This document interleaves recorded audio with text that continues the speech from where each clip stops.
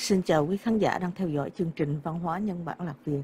Hôm nay, Tạ Phong Tần xin giới thiệu với quý vị một tác phẩm nằm trong số Việt Nam danh tác của tác giả Thi Chia Đái Đức Tuấn. Trước hết, Tạ Phong Tần xin giới thiệu sơ qua về tiểu sử của tác giả. Ông Đới Đức Tuấn sinh năm 1908 tại thôn Ngọc Giáp, huyện Quảng Sương, tỉnh Thanh Hóa, xứ An Nam thuộc Liên bang Đông Dương. Xuất thân trong một gia đình quan lại, sau khi tốt nghiệp tú tài toàn phần, ông làm tham tá ở nha học chánh Đông Dương từ năm 1930. Đới Đức Tuấn bắt đầu viết báo, viết văn từ năm 1935 cho các tờ Đông Tây, Nhật Tân, Tiểu thuyết thứ bảy. Đến năm 1940, ông xin nghỉ việc và sang cư trú dài hạn tại Côn Minh. Đến năm 1945, ông trở lại Bắc Kỳ tiếp tục làm báo. Năm 1950, ông dạy học ở trường Quốc học Huế. Về bút danh Thi Cha Nguyễn Đức Tuấn, Đái Đức Tuấn, có người cho rằng chữ A trong bút danh phải được viết hoa mới đúng theo ý của Đới Đức Tuấn. Họa sĩ tạ tị khi vẽ chân dung Đới Đức Tuấn đều ghi rõ bút danh của Đới Đức Tuấn là Thi viết hoa, C, S, Y viết thường, A viết hoa. Nhưng trong nhà văn hiện đại của Vũ Ngọc Phan, nhà xuất bản Sống Mới Sài Gòn xuất bản năm 1959 trang 985 và các bộ sách từ điển văn học được xuất bán gần đây như từ điển văn học bộ mới, từ điển tác gia văn hóa Việt Nam, nhà xuất bản văn hóa thông tin Hà Nội 1999 đều ghi là Thi Stria, không viết hoa những chữ còn lại chỉ viết hoa duy nhất chữ Thi mà thôi. Năm 1946, ông Đới Đức Tuấn gia nhập Việt Nam Quốc dân đảng, sau đó đăng trình vào quân đội quốc gia Việt Nam, thăng tới đại úy đồng hóa và rã ngũ năm 1956. Ông mất ngày 8 tháng 8 năm 1969 tại Sài Gòn. Những trứ tác của ông năm 1939 Thần Hổ, năm 1938 Linh Hồn hay Xác Thịt, năm 1940 Kho Vàng Sầm Sơn, năm 1942 Ai Hát Giữa Rừng Khuya, năm 1943 thi tập đầy vơi. Và sau đây tập Phong Tần sẽ giới, giới thiệu với quý vị tập truyện Ai hát giữa rừng khuya của tác giả Tetra Đái Đức Tuấn. Chương 1 Ma không đầu. Hồi đó cách đây chừng khoảng 20 năm tôi đi về vùng Nam Định xuống ga côi vào thăm một người bạn cũ, lâu ngày mới được gặp bạn, tôi mừng lắm. Vội vàng sai vợ con đi giết gà mổ thịt, lại cho người ra chợ đón mua những thứ quà ngon. Tôi gặp lại bạn cũng mừng. Hai anh em ngồi uống trà đàm đạo mãi cho tới chiều, không biết mệt. Lúc ấy vào khoảng 4 giờ chiều, trời tháng quy hạ, nóng nực lắm, tuy sắp sang thu mà vẫn oi ả. Tôi đến Lúc một giờ chiều, ngồi hàng huyên với bạn đã ba giờ có. Lúc tôi đến, trời còn nắng chang như lửa đốt. Nhưng khi vào nhà bạn được hơn một tiếng đồng hồ, thì trời bỗng đâu xa sầm mặt lại. Mây đen bốn bề rầm rộ kéo đến, rồi sấm chớp nối tiếp nhau xé toạc khoảng không gian bằng những tiếng nổ ầm ầm và những luồng quang tuyến sáng xanh chói lọi. Sau cuộc thị uy hùng hạnh ấy, mưa ở lưng chừng tưới xuống trần ai như thác đổ. Nhưng chỉ trong khoảng nửa giờ lại tạnh ráo ngay. Mây đen lại tụ ít leo, cũng theo chiều gió tan đi hết. Trời lúc nãy bị phẫn ám, bây giờ quang đảng như không. Vài tiếng, sấm cuối cùng của mùa thỉnh thoảng trỗi dậy nhưng chậm rãi, uể oải, không có vẻ hùng tráng như khi mưa chưa nhỏ giọt. Mặt trời khói bị che kín sao màn sao ức màn mây tối, lại vui vẻ tia ra những luồng ánh sáng đỏ rực và gay gắt hình như sau mỗi cơn mưa rào thì ánh nắng càng nồng càng đượm để cỏ cây mau chóng được khô ráo nhẹ nhàng mưa xuống nắng lên là một sự rất thường trong thời tiết nhưng sự đó không mấy khi xảy ra trong các mùa êm dịu như xuân thu và trong cụ mấy tháng mùa đông rét mướt. Nó thường chỉ xảy ra giữa mùa hạ là một mùa hay có giông tố nhất, mùa hay có giông tố thất thường.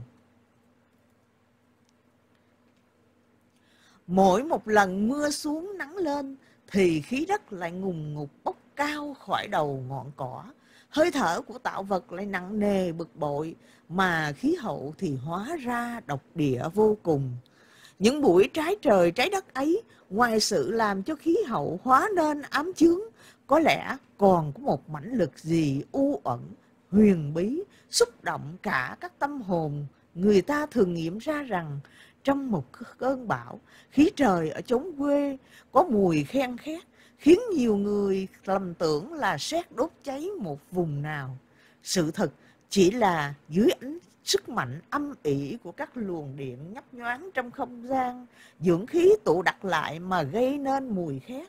Sự tụ đặt ấy vô hình làm ta chỉ nhận thấy ảnh hưởng của nó mà thôi. Nếu không có các nhà bác học thí nghiệm xét ra, có lẽ ta cũng cho là hoang đường. Hoang đường là tất cả mọi sự mà loài người chưa tìm ra cội rễ căn nguyên vậy. Sự tôi sắp nói ra đây vì chưa dò xét nguyên cớ nên cũng phải tạm liệt vào hoang đường. Ấy là sự thay đổi trong cõi huyền bí do sức có luồng điện trong không khí tạo nên. Âm hồn làm bằng chất gì ta không được rõ. Ta chỉ biết rằng nó vô hình, vô ảnh, nó nhẹ nhàng phản phất đầm như hơi sương, thỉnh thoảng như làn gió, nó tan đi hay tụ lại theo những luật riêng óc mình không thể xét đoán được. Nó ví như những làn khói, những luồng điện trong vũ trụ vậy. Vì tình cờ rung rủi, tôi đã được chứng kiến sự âm hồn hiển hiện sau một trận mưa trong một ngày là gây gắt nắng. Hôm đó, ngồi đàm luận cùng bạn, tôi đương vui vẻ kể lễ mọi nội hàng huyên tâm sự thì bỗng thấy bạn tôi như chợt nghĩ đến điều gì vùng đứng dậy vừa kéo tay tôi vừa nói bác hãy theo tôi sẽ cho bác xem một sự lạ lắm. Tôi ngạc nhiên hỏi bạn trời đang mưa xuống nắng lên thế này khí đất bốc lên ngùng ngục như kia bác muốn chúng ta đi đâu? Bác cứ theo tôi rồi tự khắc rõ bác sẽ không phải hối hận đã xông pha mưa nắng đâu. Mau lên, kẻ bỏ lỡ mất dịp này thì uổng quá. Nói đoạn, bạn kéo tay tôi rõ mạnh. Tôi không cưỡng cũng không dùng dằn, vội đứng dậy đi cục quảng xa. Tới một cái đồi, đến một nơi cổ am, có bóng cây cao rườm rà phủ kín một vùng đất rộng. Bạn tôi ra hiệu, bảo tôi ngừng bước. Tôi theo đúng lời bạn, đứng dựa lưng vào gốc cây nhưng chưa hiểu bạn tôi định tâm cho xem một cảnh vật thế nào. Anh ta đứng trước mặt tôi độ vài ba bước, ngoảnh đầu nhìn cả bốn phía, rồi ngước mắt trông ra phía sau đồi như tìm kiếm cái gì. Một lát, hình như anh ta thấy được sự gì mà muốn cho tôi chứng kiến. Anh lùi lại, bá vai tôi, một tay trỏ ra phía sườn đồi xanh biếc. Này, anh cứ thẳng tầm mắt, trông theo ngón tay tôi chỉ. Có phải ở ven đồi chỗ có nương khoai mà ta nhìn xa chỉ thấy màu đất vàng đỏ hiện ra giữa một màu xanh thẳm. Chính chỗ ấy, có hai người đang diễn võ dương ngoai vật nhau chán thì cùng múa một bài quyền. Trong lúc bạn tôi nói, tôi chăm chú thu hết nhãn lực, cố phóng luồng nhãn tuyến ra mé đồi để ghi lấy cảnh vật mà anh đương tả một cách hùng dũng. Nhưng khốn nạn cho tôi, hai mắt đã hết sức nhận xét cho rõ rệt mà vẫn chưa thấy tí gì. Ngàn trùng mây lam lợt là, ruộng lúa xanh rờn, đồi cây thẳm biếc, chả có một dấu hiệu gì chứng tỏ cho tôi là có người đương nhảy múa cả. Bạn tôi thì cứ níu chặt lấy vai tôi, bắt đầu tôi phải bắt đầu tôi phải gần sát đầu anh, hình như muốn truyền sang cho tôi nhãn lực của anh ấy vậy. chết nổi anh chưa thấy gì ư kia kìa anh cứ chú ý nhìn vào nương khoai đo đỏ kia. Chúng nó đang vờn nhau hay lắm, anh đã thấy chưa? Bây giờ hình như mắt tôi mới đỡ quảng đờ mờ. Tôi thình lình thấy một vệt trắng xám hung hung ở sườn đồi, ghé dưới nghiêng về bên tả.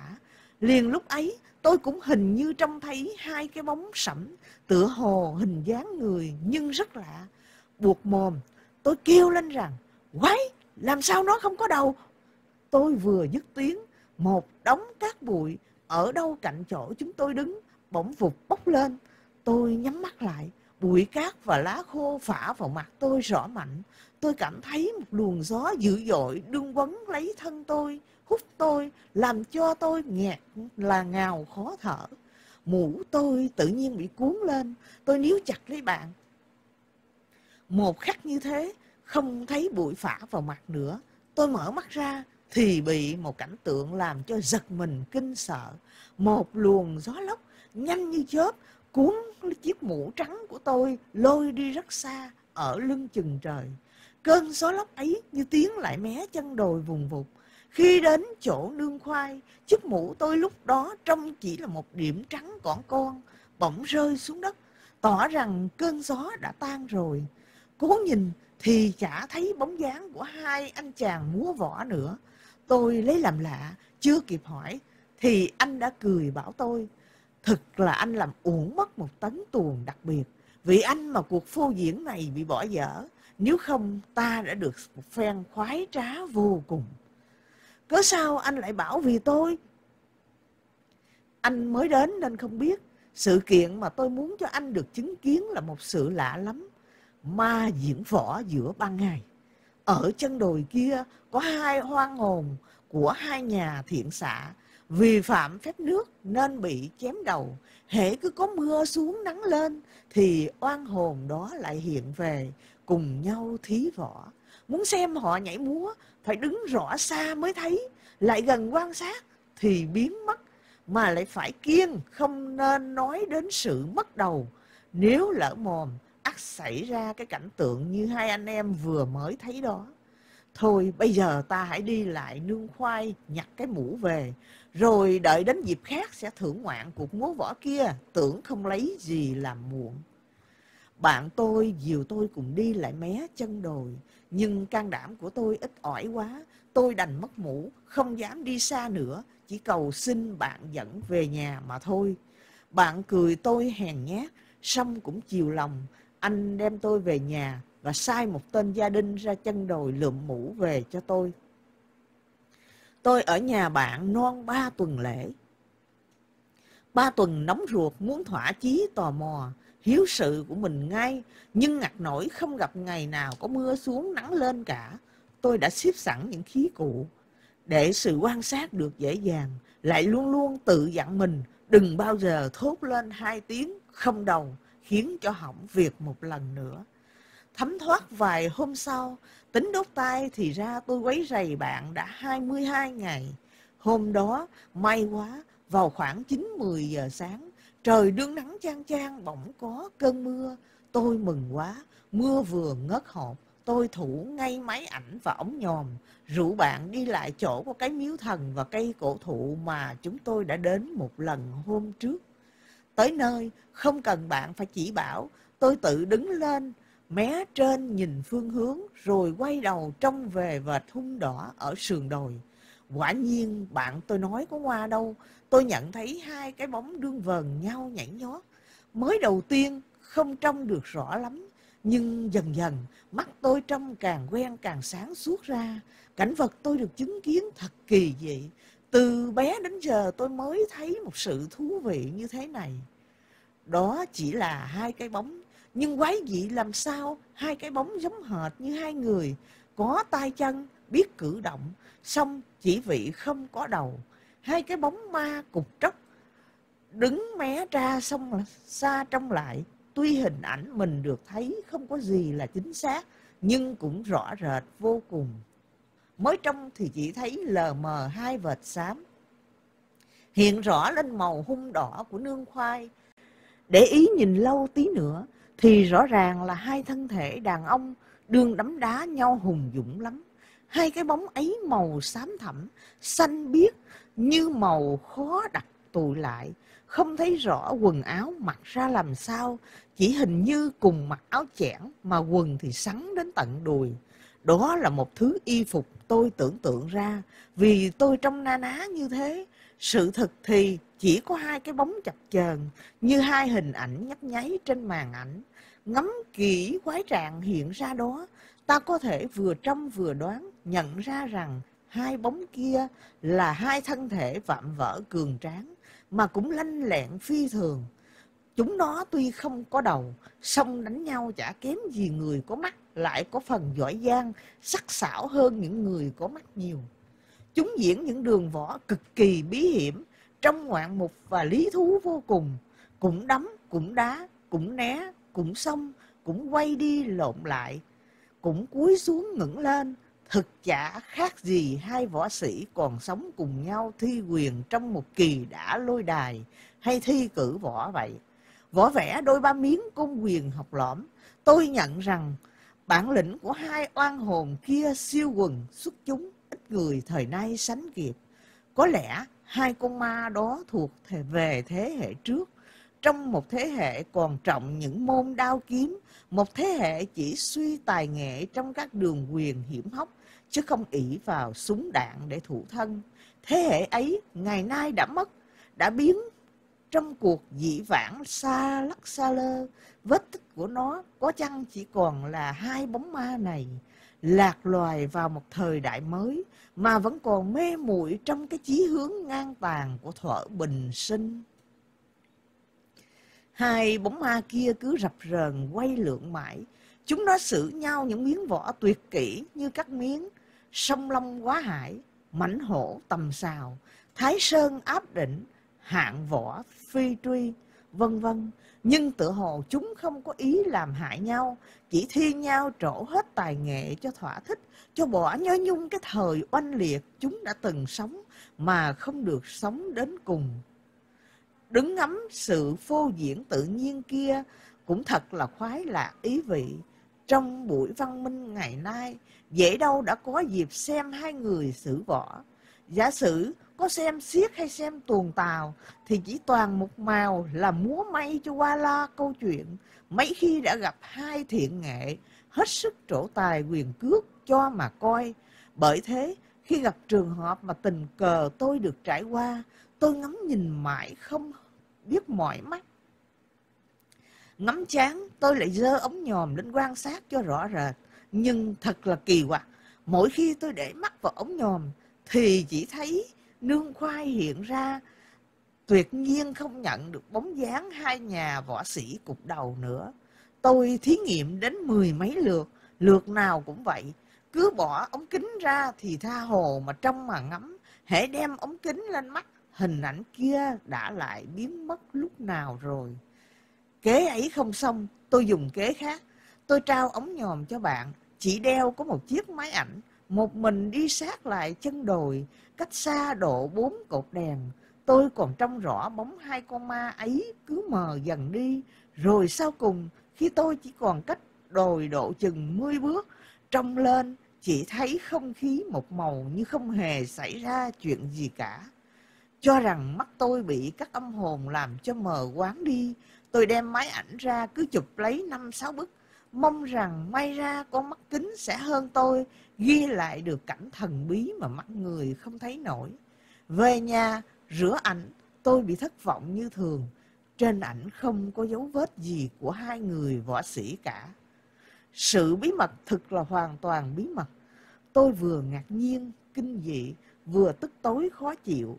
Khó chịu cũng đành vậy, chứ biết làm thế nào.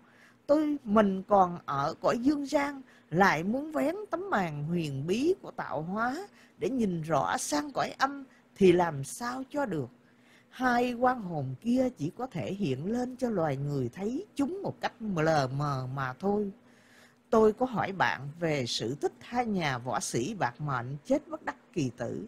Bạn tôi chỉ biết lờ mờ rằng hai người đó chết đã năm chục năm nay, lúc anh chưa ra đời.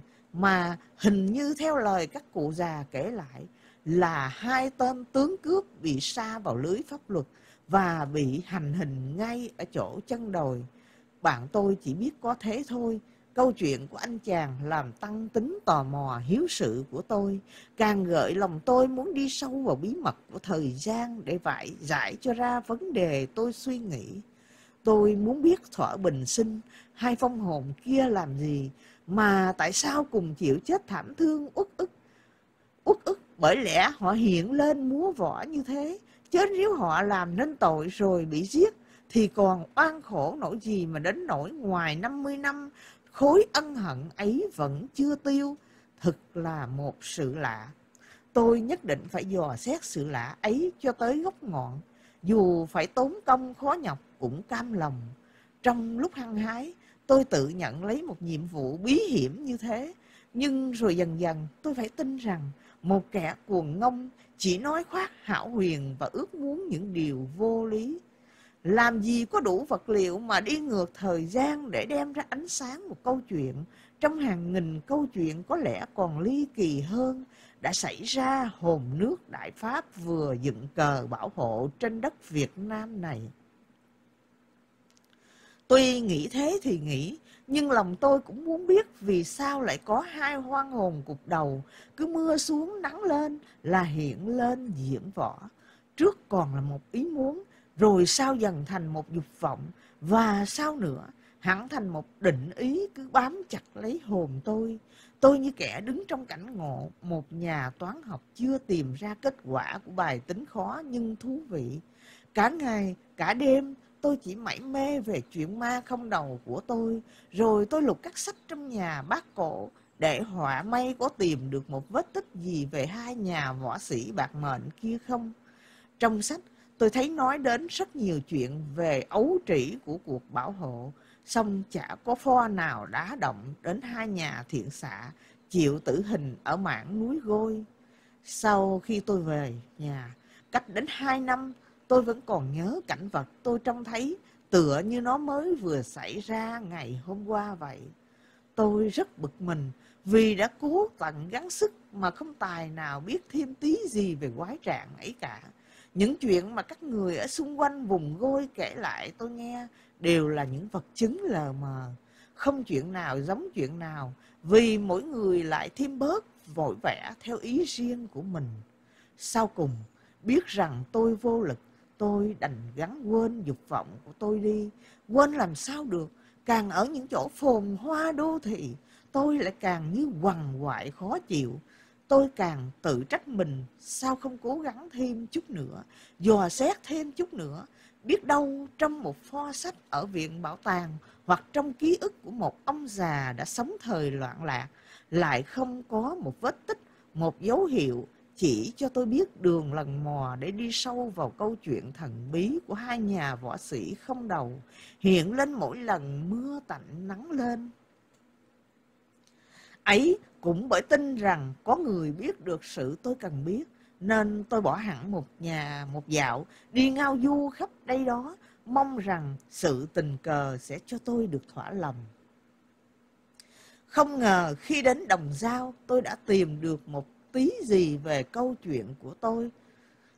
Lại nghe thêm được một chuyện ly kỳ hơn, khiến cho tính tò mò của tôi càng sôi nổi thêm lên nữa. Chương 2 Hạt Đồng Giao Khi chuyến tàu Hà Nội Vinh ghé một phút tại ga Đồng Giao để trút xuống mỗi một người hành khách và một kiện hàng thì kim đồng hồ nhà ga chỉ đúng 7 giờ 55 phút. Trời hôm ấy là một vòm trời đen tối, mưa phùn rã rít đúng 7 giờ 55 phút. Phủ kính không gian bằng một tấm màn ảm đạm, khí hậu nặng nề ẩm thấp, quang cảnh bốn bề lạnh lùng bí mật chung quanh nhà ga đều là đồi núi rừng cây, khiến càng tăng thêm vẻ hoang vu rùng rợn. Chỗ đó xưa kia là một khu rừng sâu thẳm, ở vào một nơi đồi núi hiểm hóc, chỉ có thể dùng làm xào huyệt cho lũ giặc cọ ẩn nấp hoặc làm trường mai phục cho hai đạo quân chúa Nguyễn và chúa Trịnh khi Bắc Nam xung đột binh đao. Chỗ đó ở chính giữa khoảng giáp giới hai xứ Bắc và Trung Kỳ, nó chia rẽ bờ cõi hai kỳ bằng ba tầng núi liền nhau. Vì cớ ấy, người ta gọi là đèo Tam Điệp. Ai đã từng đi xe lửa từ Thanh Hóa ra Ninh Bình chắc cũng đã để ý đến một quãng đường sắt gập ghềnh hiểm trở, có lắm đoạn khúc khuỷu, mỗi lần xe đi qua lại ngửa nghiêng lúc lắc, phải ghìm bớt đà lại, làm cho hành khách khó chịu mỗi khi nghe tiếng nghiến kèn kẹt của bánh xe ép chặt trong mái hạm. Giữa khi thân thể thì bị rung chuyển vì con tàu quằn quại, ngựa lượng ngùng ngoằn như con rắn uốn éo trên một con đường hẹp hòi, đục ở giữa núi. Ló đầu ra ngoài cửa sổ để nhìn phong cảnh, ta chỉ thấy mặt đá trơ trơ, dựng cao như bức tường, và chung quanh toàn là thứ cây sậy khẳng khiu mọc ở ven sườn đá. Một khi tàu chui qua khỏi núi, ra tới tàu đất phẳng thì lại chỉ là một khoảnh đất mênh mông bát ngát, lợm chởm những đá, trên mọc xanh um kín mít những thứ cây cỏ không tên tuổi, lan rộng khắp vùng, trong bụi không ra bụi, đồng không ra đồng, chỉ thuần một màu xanh thẳm, không thấy mặt đất đâu nữa. Thứ cây đó chả hiểu là loại gì, nó thấp lè tè, quá mặt đất độ hơn nửa thước, mọc chen lẫn với nhau và lao sậy với cỏ, với rêu biến quảng bình địa ra một khu hoang vu xanh thẳm, rừng cây không ra rừng cây, nội cỏ chẳng ra nội cỏ. Trong muôn vàng thứ cây đó, thứ mọc nhiều nhất là cây xăng, cây sim, có thứ lại có hoa trắng và hoa tím, điểm một nét diễm lệ trên vẻ trơ tẻ cằn cỗi của ngàn lao. Đã từ mấy năm nay, có một ông hào phú được nhà nước cho phép khai khẩn chúng hoang vu đó để làm đồn điền. Nhưng dáng chừng sự khai hoang khó khăn quá, nên nhà hào phú kia đành bó tay chịu thua tạo hóa. Chỉ để lại trên đường sắt một tấm biển báo hiệu cho công chúng biết Đất Đồng Giao là một nơi sắp thành ấp nai mai. Ai đi qua Đồng Giao mà chẳng thấy một tấm biển gỗ to, đứng sừng sững trên ngàn cỏ xanh đã mấy năm nay. Trên có một hàng chữ đập mạnh vào những người khách qua đường là Concession Nguyễn Văn X. Sự mở mang khi đất rộng giáp với đường sắt ở vùng Đồng Giao hẳn phải là một công trình vĩ đại mà trong một thời gian ngắn ngủi, sức người khó nổi làm xong, muốn cho bãi đất hoang thành những cánh đồng phì nhiêu phong phú, tất cả phải bỏ ra một số tiền ức vạn. Một là để phạt hết cây hoang cỏ xấu, hai là để sang bằng mặt đất, vạt cho hết lượt sỏi đá gồ ghề. Công trình ấy cũng đủ nuốt hết một gia sản khổng lồ, huống chi lại còn phải xây nhà cửa, nuôi súc vật, và trồng trọt. Có lẽ cũng vì thế nên nhà hào phú kia đành nhẫn nha làm việc, không thể tiến hành cuộc khai khẩn một cách nhanh chóng nữa. Ấy là chưa nói về khí hậu xứ Đồng Giao. Ai đã từng ở vùng ấy độ dăm bảy tháng, ắt phải rùng mình ghê sợ mỗi khi nghe nói về thủy thổ miền giáp giới Bắc Trung Kỳ. Đó là tổ sốt rét rừng dẫu uống ký ninh đến điếc tai cũng khó lòng tránh khỏi. Khí hậu thật là kỳ quặc, tuy ở vào miền gần bể mà đồng giao về phương diện thời tiết cũng chả khác gì những chỗ ở mạng thượng du và có lẽ còn độc hơn các tỉnh lỵ vùng thượng du nữa. Đêm thì lạnh buốt phải đắp chăn tới sáng, ngày lại nóng bức như giữa mùa hè sống trong bầu hàng thử tương xung đó, phải có xương đồng da sắt mới tránh khỏi sự ốm đau hoặc quẹo. Buổi sáng 8 giờ, xương trắng như sữa, đặc như khói, còn phủ kính non sông cây cỏ, mãi đến khi mặt trời lên cao lắm mới tan dần. Chiều tới, vào khoảng 4-5 giờ, sương đã bắt đầu rõ xuống rồi tụ lại, chỉ chốc lát là phong cảnh bị chìm đắm trong một bức màn trắng đục, ẩm thấp, khiến người đi trong năm bước khó lòng trông thấy mặt nhau. Trong cụ quý xuân, mỗi khi có mưa dầm rã rít, sự nặng nề ước ác càng tăng gấp bội phần. Trời thu một màu tiêu điều xám đục, đất thì vắng lạnh điều hiu, phong cảnh thực là thê lương ảm đạm. Có lẽ vì vùng đồng giao ở cao hơn mặt bể, lại có những rừng núi bao bọc nên tuy không xa đồng bằng mấy, mà khí hậu thời tiết khác hẳn các miền ở đồng bằng. Quanh năm không khí bao giờ cũng đầy hơi nước, sự ẩm thấp không làm sao tả xiết, cỏ hoang riêu lạ tha hồ được tươi tốt như quần áo đồ đạc, thì luôn luôn phải hơ, phải sấy, nếu không ắt bị mốc, bị mục một cách mau chóng lạ thường. Đem so sánh các tỉnh rải rác trên quãng đường thiên lý chạy từ Hà Nội đến Huế, thì có lẽ hạt đồng sao là chỗ độc địa nhất. Sở dĩ nước độc tại vì bốn quanh hạt toàn là rừng rú, ngàn nội, truông sậy, bãi lao, những cây lá mục từ thuở xưa còn trồng chất cả trên mặt đất, trong lòng suối, khiến nước xanh lè như màu rêu hoặc đục ván lên như nước ao tù. Những cây cỏ thường hay giữ lấy hơi nước, không cho tan đi, lại nhúm các khí độc ở đất bốc lên, thu tất cả bao nhiêu những nguồn ám chướng vào lòng rừng rú.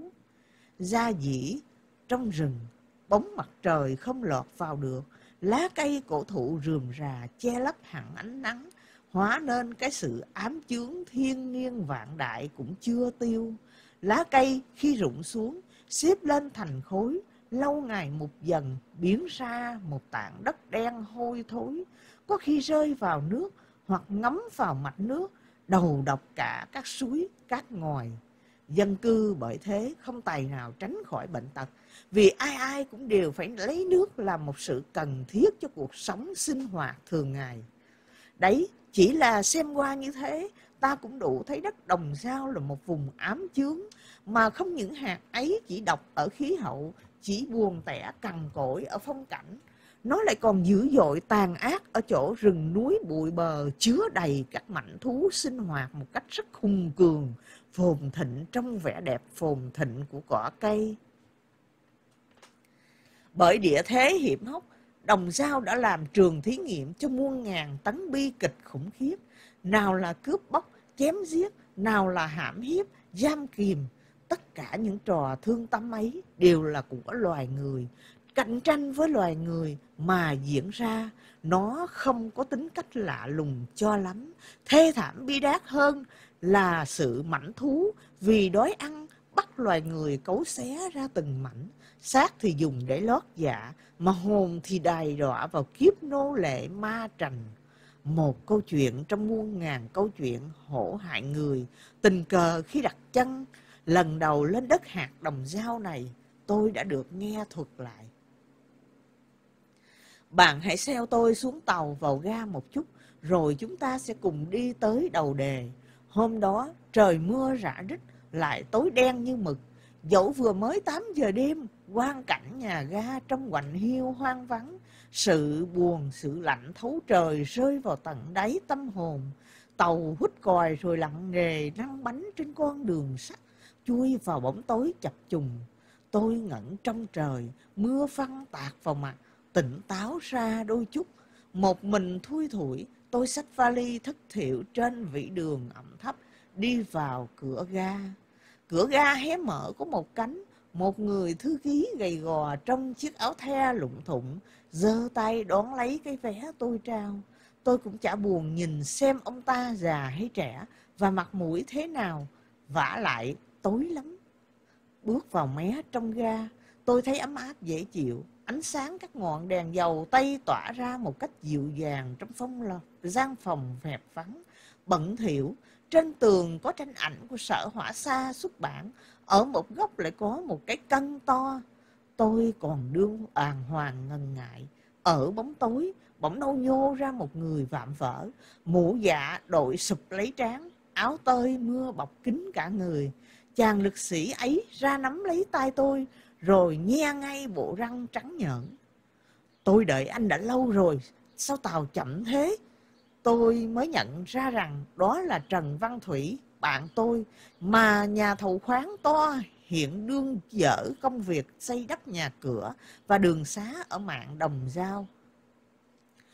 Anh Thủy thấy tôi mừng quýnh như kẻ được vàng, vội kéo tôi sền sệt ra khỏi ga, đẩy tôi lên xe ô tô, mở máy chạy vèo vèo trên con đường đá vụn.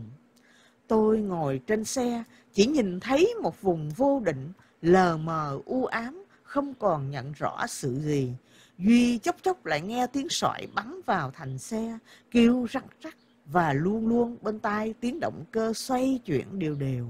Một nửa giờ như thế, xe ngừng lại, bạn tôi bấm đèn pin rọi sáng, đưa tôi vào một tòa nhà. Trời tối lắm, tôi cũng chả biết nhà ấy lợp bằng ngói hay bằng gồi. Tiến vào nhà thì thấy trên nền nhà cao ráo, phòng ốc rộng rãi, tường tuy bằng rơm và phên trát vữa, nhưng có cửa kính, cửa chớp chắc chắn, mé trên cũng có trần như các nhà Tây. Trong nhà có ghế salon rơm và dâm bộ phản, cùng một bộ bàn ăn, bài biện rất sơ sài. Song thực ra là ngăn nắp, sạch sẽ, mới thoạt nhìn vào ai cũng phải võ đoán chủ nhân là một kẻ làm ăn cẩn thận, ưa sự thực tế mà ghét thứ xa hoa. Trên tường, quét vôi trắng toát, chả có tranh ảnh gì cả. Giang giữa thì thấy treo một khẩu súng trường dài nòng và ba thứ khí giới ta, một thanh mã tấu, hai thanh quất và một cái nỏ. Thế là hết. Các đồ trang hoàng chỉ có thế, còn thì trơ trụi mặt tường không. Nhưng ta cũng chớ nên vì thấy vẻ sơ sài đó mà vội liệt chủ nhân vào người, chỉ ốc buôn bán, không có ốc mỹ thuật. Thực ra, Thủy là một thanh niên rất chuộng văn chương, âm nhạc. Sở dĩ chàng chịu sống trong hoàn cảnh trơ tẻ như thế, chỉ bởi chàng muốn theo đúng chí hướng của cha, muốn tự buộc mình luôn luôn phải nghĩ đến sự làm ăn để làm thí dụ cho đứa con thơ và cho vợ. Cái nhà ở đồng giao này chẳng qua chỉ là chỗ sống tạm bợ mà thôi. Hà tất phải vẽ vời, trang hoàng bày biện mỹ lệ làm gì cho tốn. Có lẽ Thủy lâu ngày có đi sâu vào tâm lý chàng mới có thể hiểu chàng là một nhân vật dễ cảm xúc, dễ mơ mộng. Dẫu bề ngoài chàng cố hết sức đè các tính tình nhu nhược của mình đi. Thoạt vừa tới nơi, tôi đã nhìn thấy trên bàn bày sẵn bát đũa và các món ăn nghi ngút. Có một sự làm tôi chú ý nhất, ngạc nhiên nhất, nhưng cũng vui thú nhất. Ấy là một bộ khai đèn sáng loáng rất tươm tất bày trên một cái sập gụ ở góc phòng. Ăn cơm có Lệ Thi, vợ Thủy, cháu Thu Nhi, con gái Thủy, bạn tôi và tôi, chuyện trò vui vẻ, ăn ngon quá, đồ ăn hết nhẵn, vì Thủy ăn khỏe như hùm. Giữa chốn đồng rừng u tịch này, vợ và con gái Thủy tựa như hai đóa hoa thành thị, lạc vào bãi giữa thảo mộc an xanh um của núi đồi. Ngõ hầu đem đến cho kẻ bị đầy vào nơi hoang vắng một chút hương thơm của chốn náo nhiệt phồn hoa.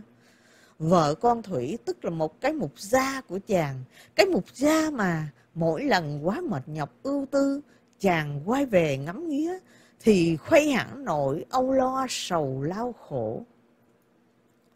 Có một chỗ xa xôi lạ người lạ đất, ở một chỗ mà lâu già trúc vỏ nảy mầm quanh hiên thì mới biết bàn tay mềm mại của người đàn bà và tiếng nói liếu lo của trẻ con thực quả là rất cần thiết cho sự sinh hoạt thường ngày. Mất hai thứ quý báu ấy, cuộc đời dễ tẻ, dễ ngán lắm. Và mỗi lần phải xông pha những cuộc khó khăn để đạt tới công danh hay phú quý, thì không làm gì có sự khuyến khích, thiết tha tâm trí để bền lòng gắng sức tiến lên. Trong đời kẻ anh hùng, đem toàn thân thờ một quan niệm siêu quần, có lẽ vợ con là một điều trở ngại cho chí khí. Nhưng trong đời một kẻ sống một cách tầm thường bình dị, thì sự thiếu vợ con quả là một nỗi buồn rầu, một động lực làm trở ngại sự tấn tới trên đường sinh hoạt. Bởi thế, đối với Thủy, tôi thấy rằng ngay cả khi anh đem vợ con cùng ra đồng giao là một điều chí lý. Dẫu rằng khí hậu thủy thổ ở đất này không được lành như đồng bằng. Sông Le vì anh khéo giữ gìn, ăn đúng phép vệ sinh, nên cả nhà anh ít bị ốm đau hoặc quẹo. Vợ con anh trong đều khỏe mạnh cả, không đến nỗi mặt bụng da chì như phần nhiều dân ở nước độc rừng thiên. Cơm nước xong, cả hai vợ chồng bạn và đứa con thơ theo gót tôi cùng lại sập gụ ở góc phòng. Bốn chúng tôi quay quần xung quanh bàn đèn, nói chuyện với nhau như họp chợ. Lệ Thi tự tay rót nước lọc ra ấm, đặt lên đèn cồn, đun một ấm nước sôi, rồi lại tự tay nàng lấy cốc lấy đường, pha cho hai anh em tôi mỗi người một cốc cà phê rõ đặc. Hút thuốc có kèm theo cà phê đắng mới thú vị. Em nghe cậu em ngày trước vẫn nói như vậy. Ở đây tuy có cà phê nhưng rang lấy không được ngon lắm. Bởi thế thứ cà phê này em phải gửi từ Hà Nội xuống đây. Nhà em uống quen rồi, cứ gần hết em lại vội nhắn mua kỳ được. Nếu không có cơn nghiện, ông ấy lên, ông ấy rai rứt cho đến khổ. Nhưng mà anh thử uống xem có phải đúng mô ca hảo hạng đó không? Hôm đó thực là ngày hội. Nào là Lệ Thi, nào là cháu Thu Nhi, nào là Thủy, nào là tôi. Cứ cướp lời nhau mà nói, nói đến chỗ vui quá là cười ầm lên. Cho đến khi cháu Thu Nhi buồn ngủ, Lệ Thi mới chịu dắt con vào phòng.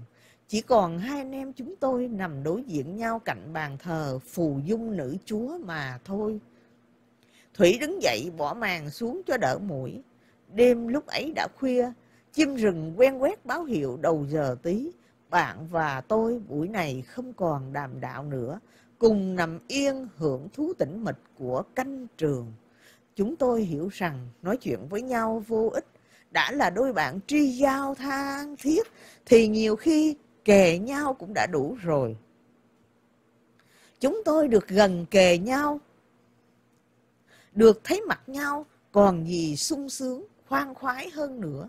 Tội gì đem lời nói phá tan sự khoan khoái ấy đi. Trong cái êm ấm quạnh quẻ, tình thân yêu thương quý mến còn nồng nàn hơn lúc nói cười. Có biết nằm yên để lặng lặng nhìn nhau, đó mới thực là tương ái đến tột điểm mà có khi lại không cần nhìn nhau nữa.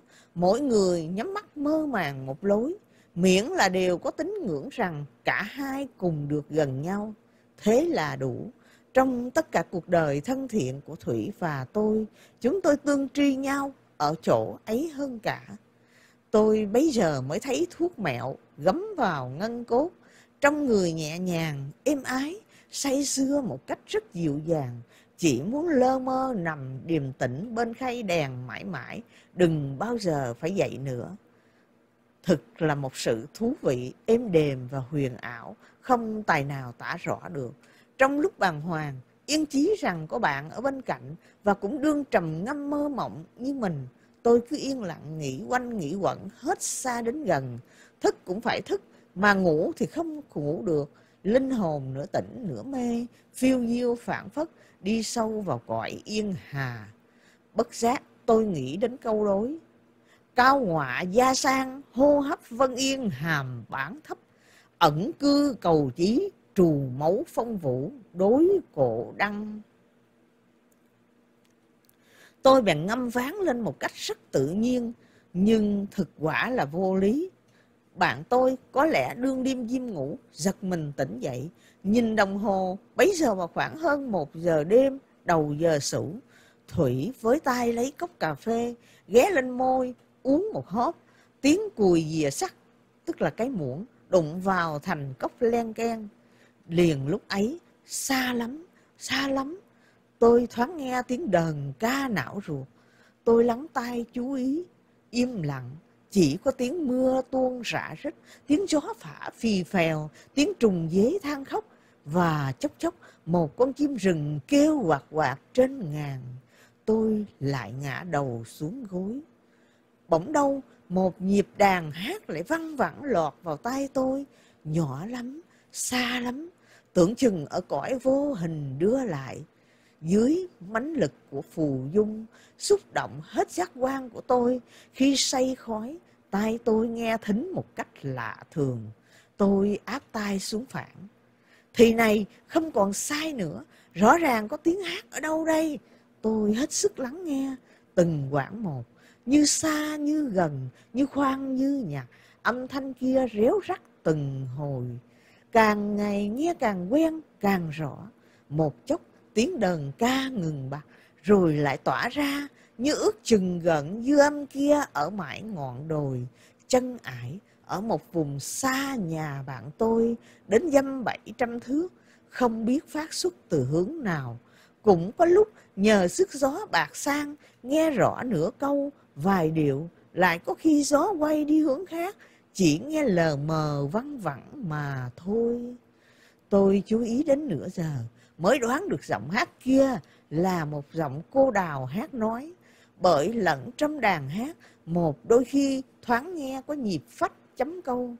Thôi, đích thị rồi, có lẽ quanh vùng này có nhà hào mục tổng lý nào được ăn khao, vui mừng nên đặt ra trò tiêu khiển thanh cao nhã đạm ấy.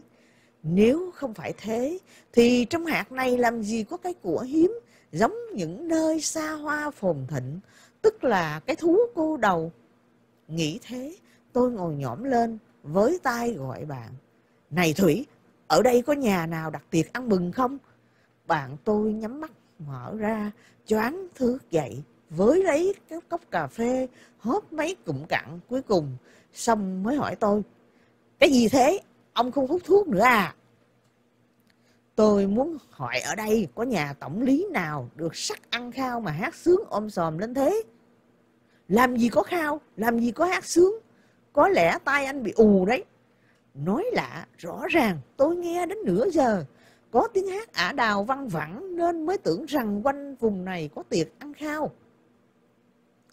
Anh nghe thấy tiếng hát ư, thế thì anh có phúc thật.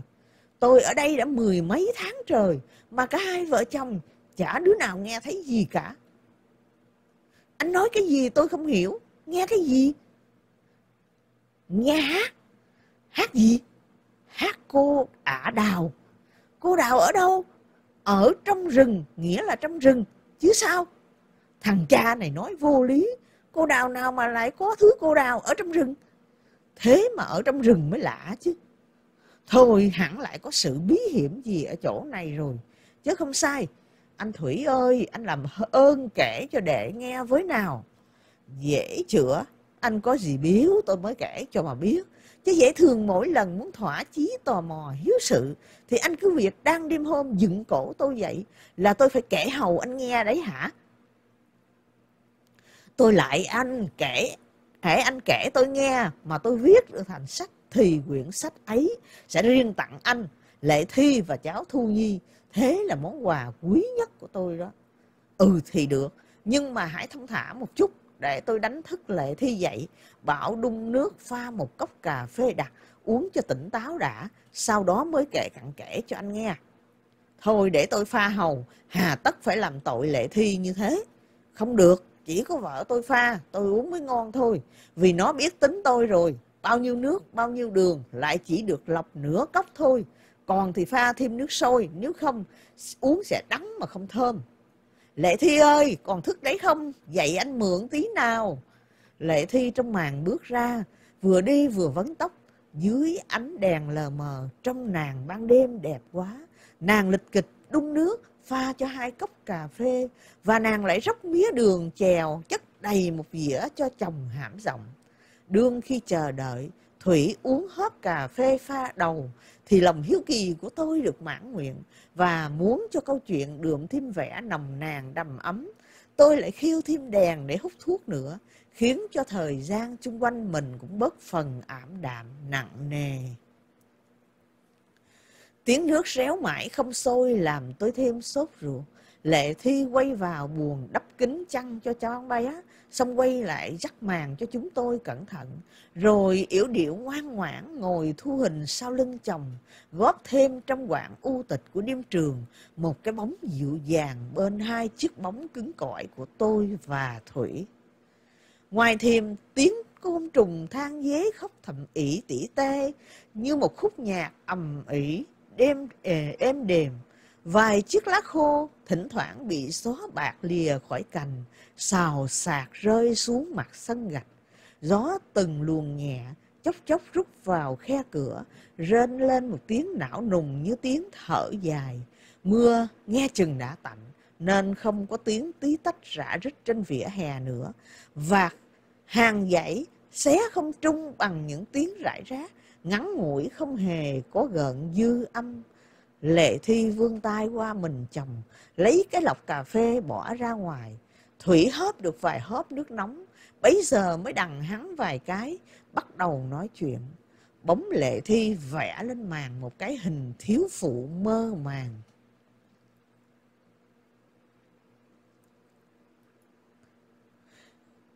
Chương 3 Ngàn khuya tiếng vắng tiếng Hai vợ chồng tôi ở đây đã quá một năm mà thực quả chưa bao giờ được cái hân hạnh như anh cả. Từ khi chúng tôi mới đến, đã nghe các ông cai và các bác phu gia nói dông dài về chuyện đường rừng, nào giả sử của mấy mươi loài chim lạ như con cô ơi, con trà toản, con tử quy, con gia gia, vân vân.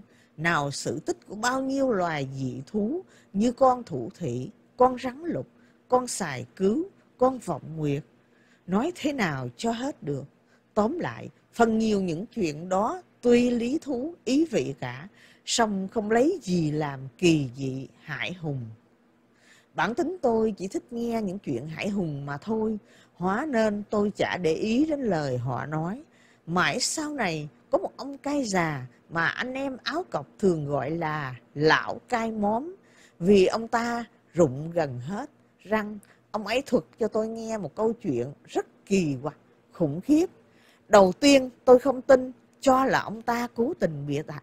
Một là để vừa lòng tôi, hai là để dọa vợ tôi cho thú vị. Nhưng được ít lâu, trong một trường hợp cực kỳ quái gở, tôi suýt nữa bị tán đỡm vì sợ hãi rồi từ đó tôi phải tin lời ông cai già là đúng. Từ độ ấy, hễ cứ đêm nào mưa rầm gió bất, đưa đêm nay chẳng hạn, là tôi cố thức và chú ý lắng tai nghe. Tôi thức mãi, thức mãi, mà chả bao giờ thấy gì cả. Cái lần mà đáng lẽ được nghe thấy thì tôi lại sợ quá, chết ngất đi, thiếu chút nữa mất mạng. Còn về sau này thì cả vợ chồng đêm đêm thường cùng nhau ngồi lắng tai gần suốt sáng, thế mà chẳng thấy gì cả. Chán nản, chúng tôi đành bỏ cuộc, không thám thính nữa. Ai ngờ lần đầu tiên anh đến, anh đã nhận được ngay sự bí hiểm mà tổn bao tâm trí tôi vẫn chưa nhận được. Tai anh thực là tai thánh, linh ứng bằng tai hộ thần. Quả như lời anh nói, sự bí hiểm kia là một điệu hát cô đầu. Trong rừng có ả đầu, đó mới là một sự đáng cho là bí hiểm, nhất là ở mạng rừng này. Bởi lẽ đồng dao là một hạt hẻo lánh, dân thưa, nước độc. Cô đầu đến làm gì? Trong mấy chục năm nay, có lẽ từ thượng cổ đến giờ, chưa khi nào có một chị ả quẩn mở hoặc điên rồ đến đây mở một ngôi hàng hồng lâu cả. Thế thì tại sao ở chỗ này lại được nghe hát ả đào? Cứ về đêm, quá giờ tí, thì mới văng vẳng một tiếng đàn ca réo rắt. Đàn ca ý xuất xuất từ mé giữa rừng. Hai tháng đầu, khi tôi mới đến, cũng lắm người nói với tôi như thế, nhưng tôi đều cho là bịa đặt. Về sau, nghe thấy ai cũng cam đoan là sự thật, tôi mới đâm ra nghi ngờ, muốn biết rõ nguyên cớ vì đâu có sự kỳ dị như vậy. Nhưng hỏi ai, họ cũng đều bảo là trong rừng đêm đêm nghe có tiếng hát, không biết tại sao mà có. Người đoán đó là ma, kẻ bảo là yêu tinh. Có một ông già nhà ai biết rằng đó là một thứ hồ ly lạc mãi từ bên tàu đi đồng đường núi thẳm qua Vân Nam sang tới xứ Lào. Rồi lần mò tới đồng giao thì không đi nữa vì tìm được một địa thế hạp với nó. Sau lại có một bà già nói là mắt thấy con quái vật ấy ở trong hang đá nứt mà chui ra. Trước thì là con vượn trắng, rùng mình một cái, biến ngay ra con gái rõ đẹp. Vô phúc ai gặp phải thì nó quyến rũ đưa vào hang. Đàn bà nó không thèm bắt, nhưng đàn ông thì túm ngay lấy làm chồng. Kẻ nào đi qua lại cùng nó, nó rút hết xương tủy trong ba ngày phải chết. Ông Ký Ga bảo là không phải thế, theo như ông biết, đó là một nàng tiên rất mỹ miều diễm lệ, không làm hại ai cả. Nàng ấy ngủ ở một thân một cây quế lớn, đi tạc qua cũng ngửi thấy mùi hương xông lên, nhưng cố tìm tòi hàng tháng cũng không ra, bởi lẽ nàng tiên đã biến cây quế thành một cây gỗ khác rồi. Cứ những ngày tối tăm trời đất hoặc những ngày sáng sủa có trăng sao, nàng lại hiện ra, trời đất buồn thì nàng buồn, trời đất vui thì nàng vui, hoặc vui hoặc buồn, nàng đều lấy điệu hát câu ca véo von làm thú tiêu khiển. Truyền rằng có khi nàng thổi sáo, nghe khi tiếng như tiếng sáo diều, bay xa ngàn dặm, nhưng ít khi nàng dùng thứ âm nhạc ấy. Thường thường nàng tự mồm ca tai đờn, ca bé bé cho một mình nàng nghe thôi. Bởi thế ta có tính tai lắm mới thoáng nhận được một vài điệu bỗng trầm. Khi hỏi đến bà Chánh Ba là người đã từng đi lại hạt đồng giao buôn bán, thì bà nghiêm nghị hạ thấp giọng xuống và nói xe sẻ một cách rất kính cẩn rằng nàng tiên đó là một vị công chúa trong 12 chầu cô hầu Đức Bà Thượng Ngàn. Ấy là cô nương Quỳnh Hoa đó, vì cô nương lỡ tay làm rơi một chiếc chén cẩm ngọc khi rót rượu mời Đức Bà Liễu Hạnh ở Sòng Sơn, nên bị đầy ra rừng đồng dao. Bởi thế, những đêm u tịch tẻ buồn hay những đêm vắng sáng sủa, nàng Quỳnh Hoa lại nhớ đến chầu bà Thượng Ngàn và 11 chị em trong lòng buồn rầu. Và những lúc ấy, đối cảnh sinh tình, cô nương bùi ngùi hoài vọng, hát lên một khúc ngõ hầu vợi bớt nỗi lòng.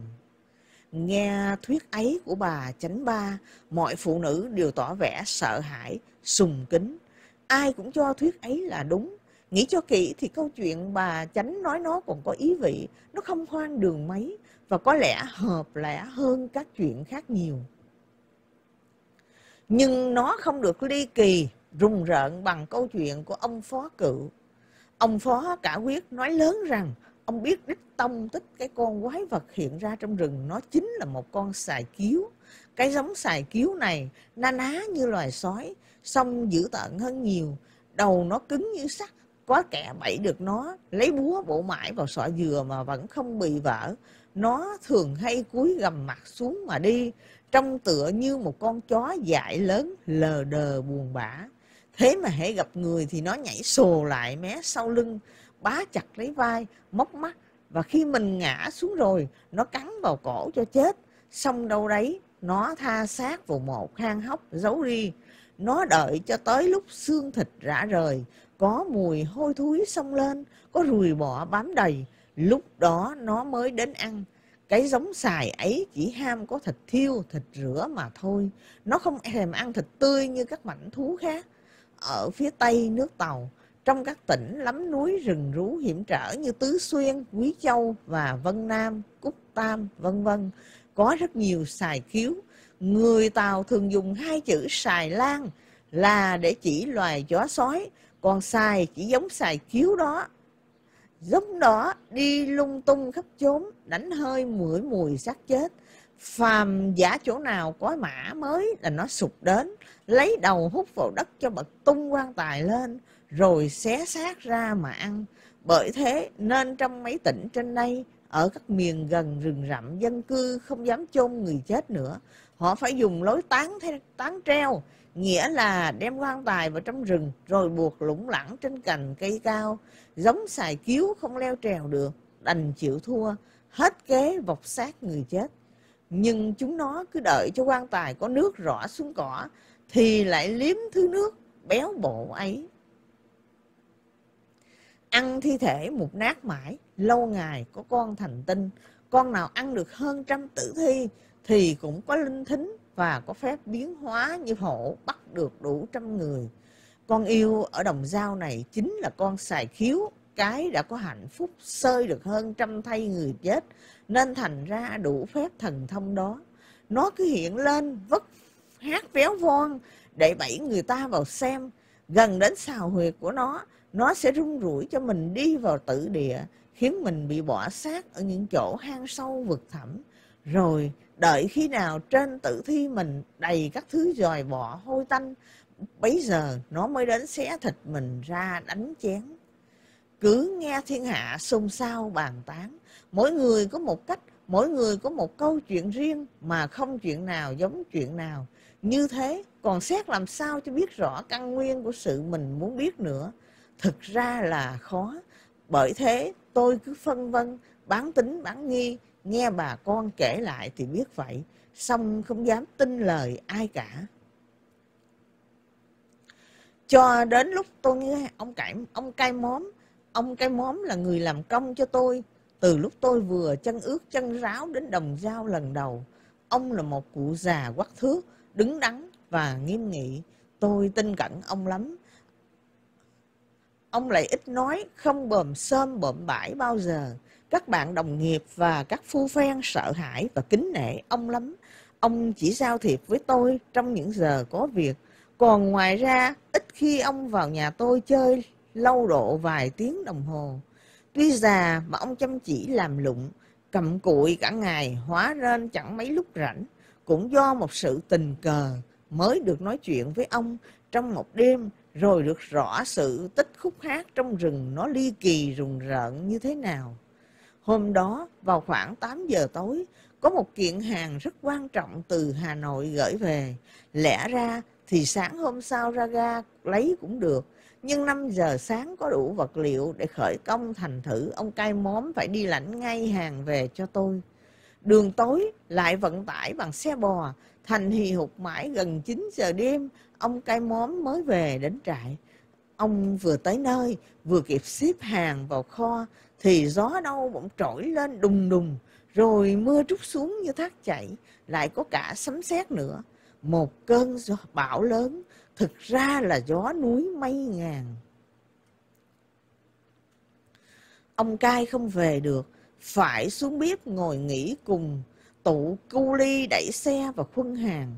Tôi nhân có chuyện dặn ông, gọi ông lên nhà trên uống nước.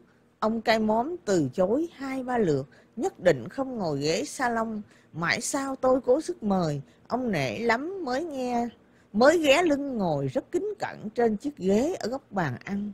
Tôi vốn biết ông là người ít nói, cử chỉ rất thận trọng, nên cũng biệt đãi ông. Nhân có một chai rượu nếp cẩm, ngọt lật như đường và rất mạnh, của một người bạn thân vừa biếu tôi được vài ngày. Tôi bèn sai mở ra, rồi mời ông cai móm.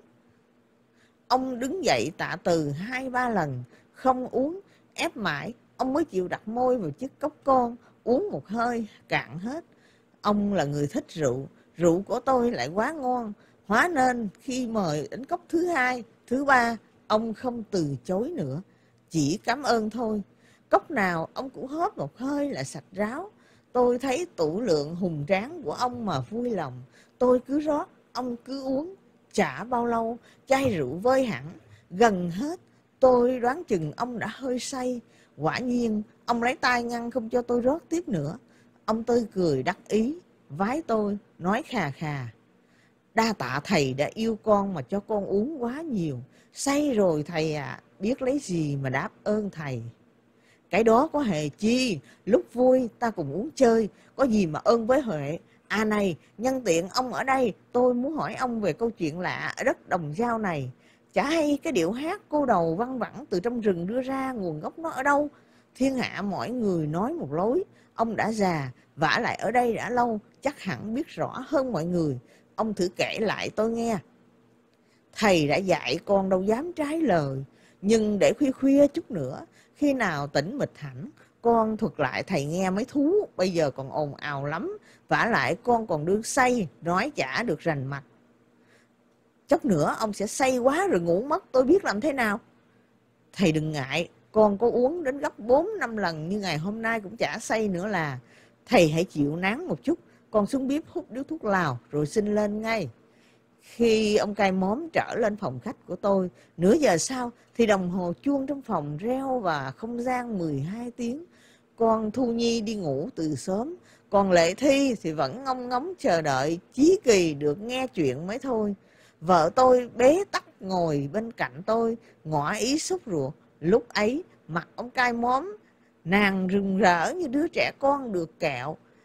Vội vàng đứng dậy đón, dắt lại chỗ ngồi cẩn thận, xong rót đưa ông một cốc rượu lớn.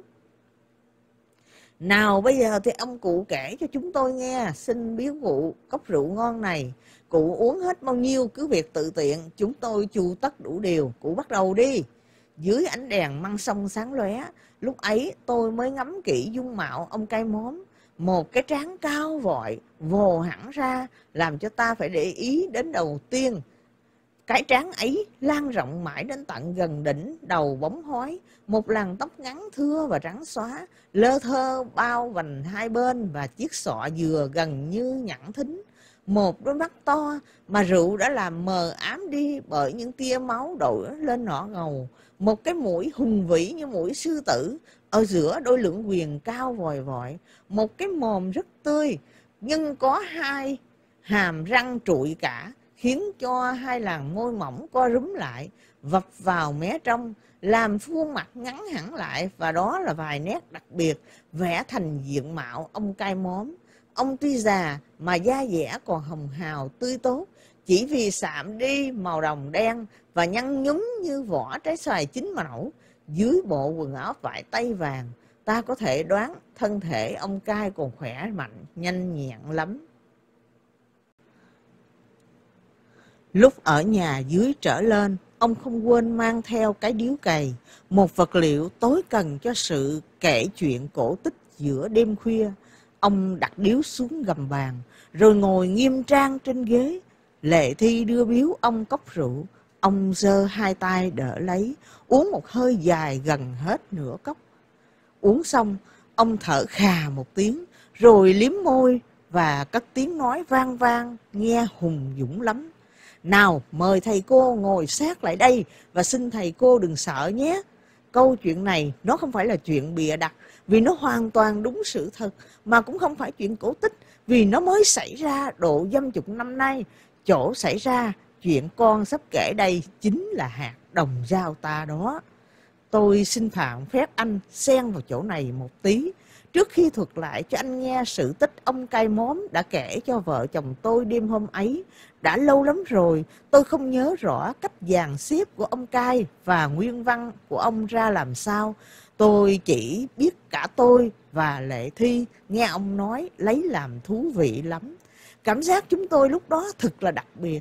Nói cho đúng, ông cai quả có tài trứ thuật vô cùng. Ngày nay tôi kể lại câu chuyện này có lẽ không hay như ông ấy kể, song tôi tin rằng văn của tôi sẽ rườm rà mà lẳng lơ bay bướm hơn nguyên văn. Sau đây là câu chuyện của ông cai móm, mượn miệng lưỡi và tinh thần tôi mà lọt vào tai anh đó thôi. Anh nên hiểu như thế cho tôi thì mới được.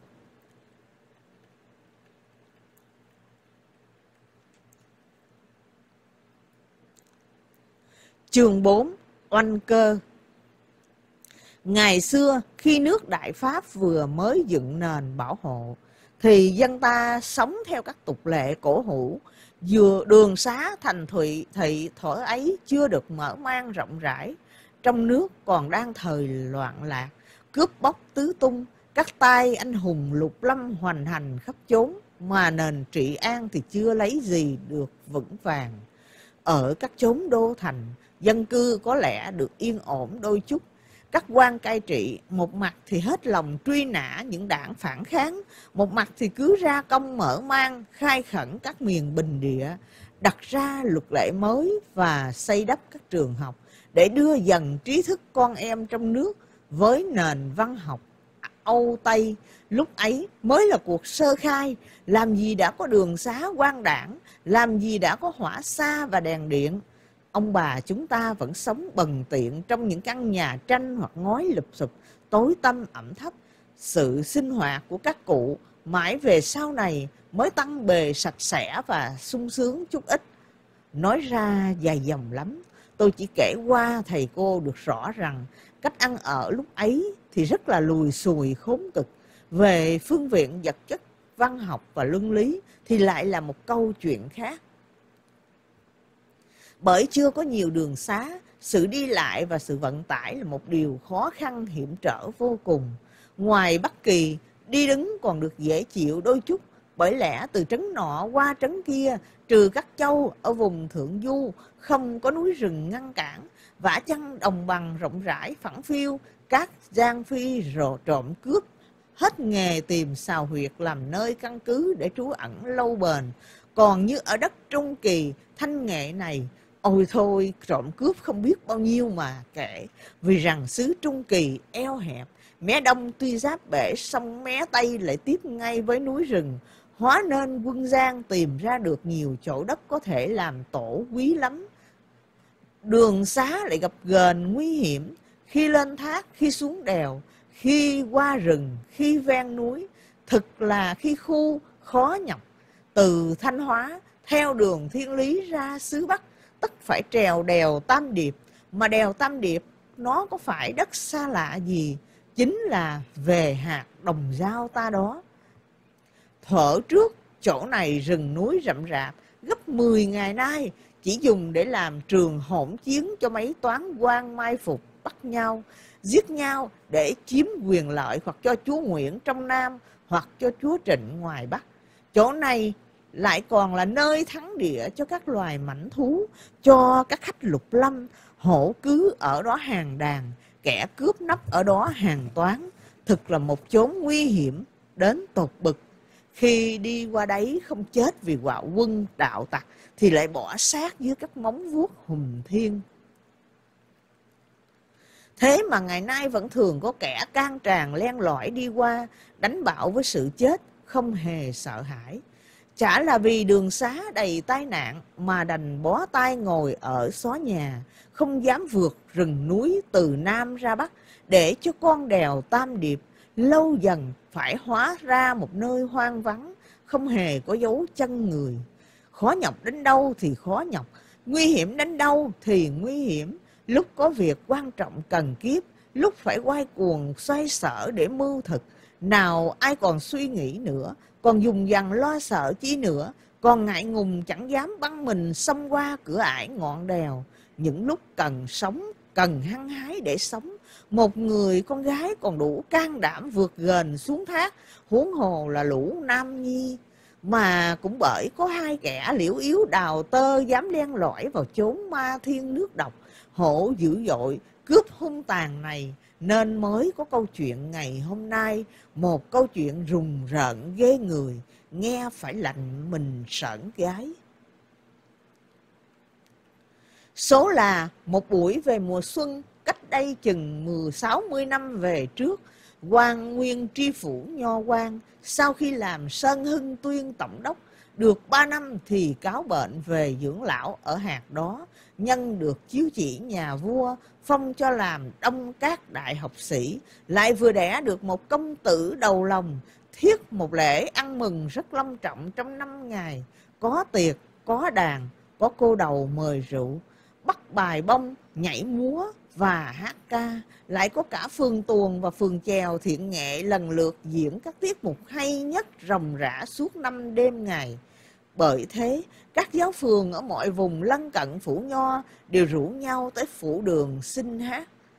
Tiếng đồn vinh quang thượng nho quan đó là tên mà dân gian đặt ra để gọi cụ Đông Cát có đại tiệc chạy mãi vào Thanh Hóa.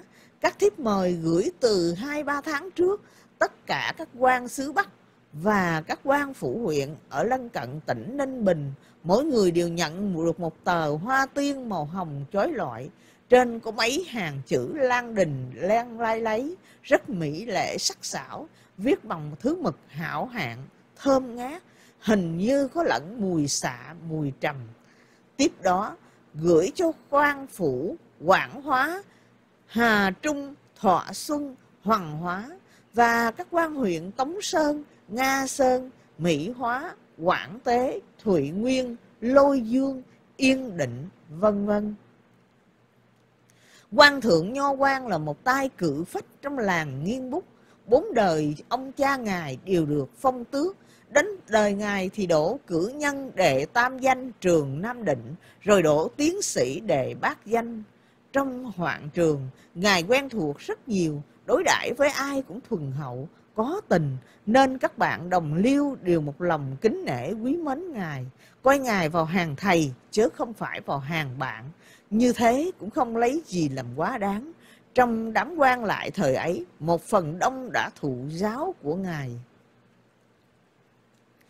cũng bởi vậy nên khi được tin báo ngài ngoại ngũ tuần mới sinh công tử đầu lòng lại được thăng hàm đông cát các thượng quan và các quan phủ huyện khắp xứ Bắc cùng trong hai chấn, thanh nghệ gửi đưa đồ lễ đến mừng nhan nhãn, từng lớp lính cơ nón sơn, quần nâu, áo nâu nẹp đỏ, khố lục, xà cạp điều, khiên lễ mễ những cái niệp.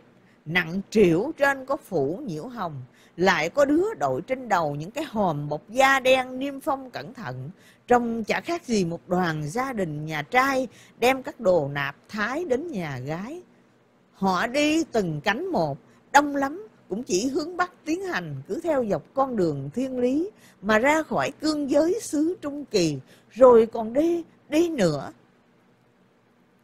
Nhập với bọn họ, có một lợi ích rất lớn, là đi đường xa khỏi bị những tai nạn cướp bóc, vì họ là lính quan, tránh được cả sự bị hổ ăn thịt, vì đông người thì hổ không dám hành hung hỏi ra mới rõ bọn họ cùng ra cả nho quan, dân lễ mừng quan đông cát.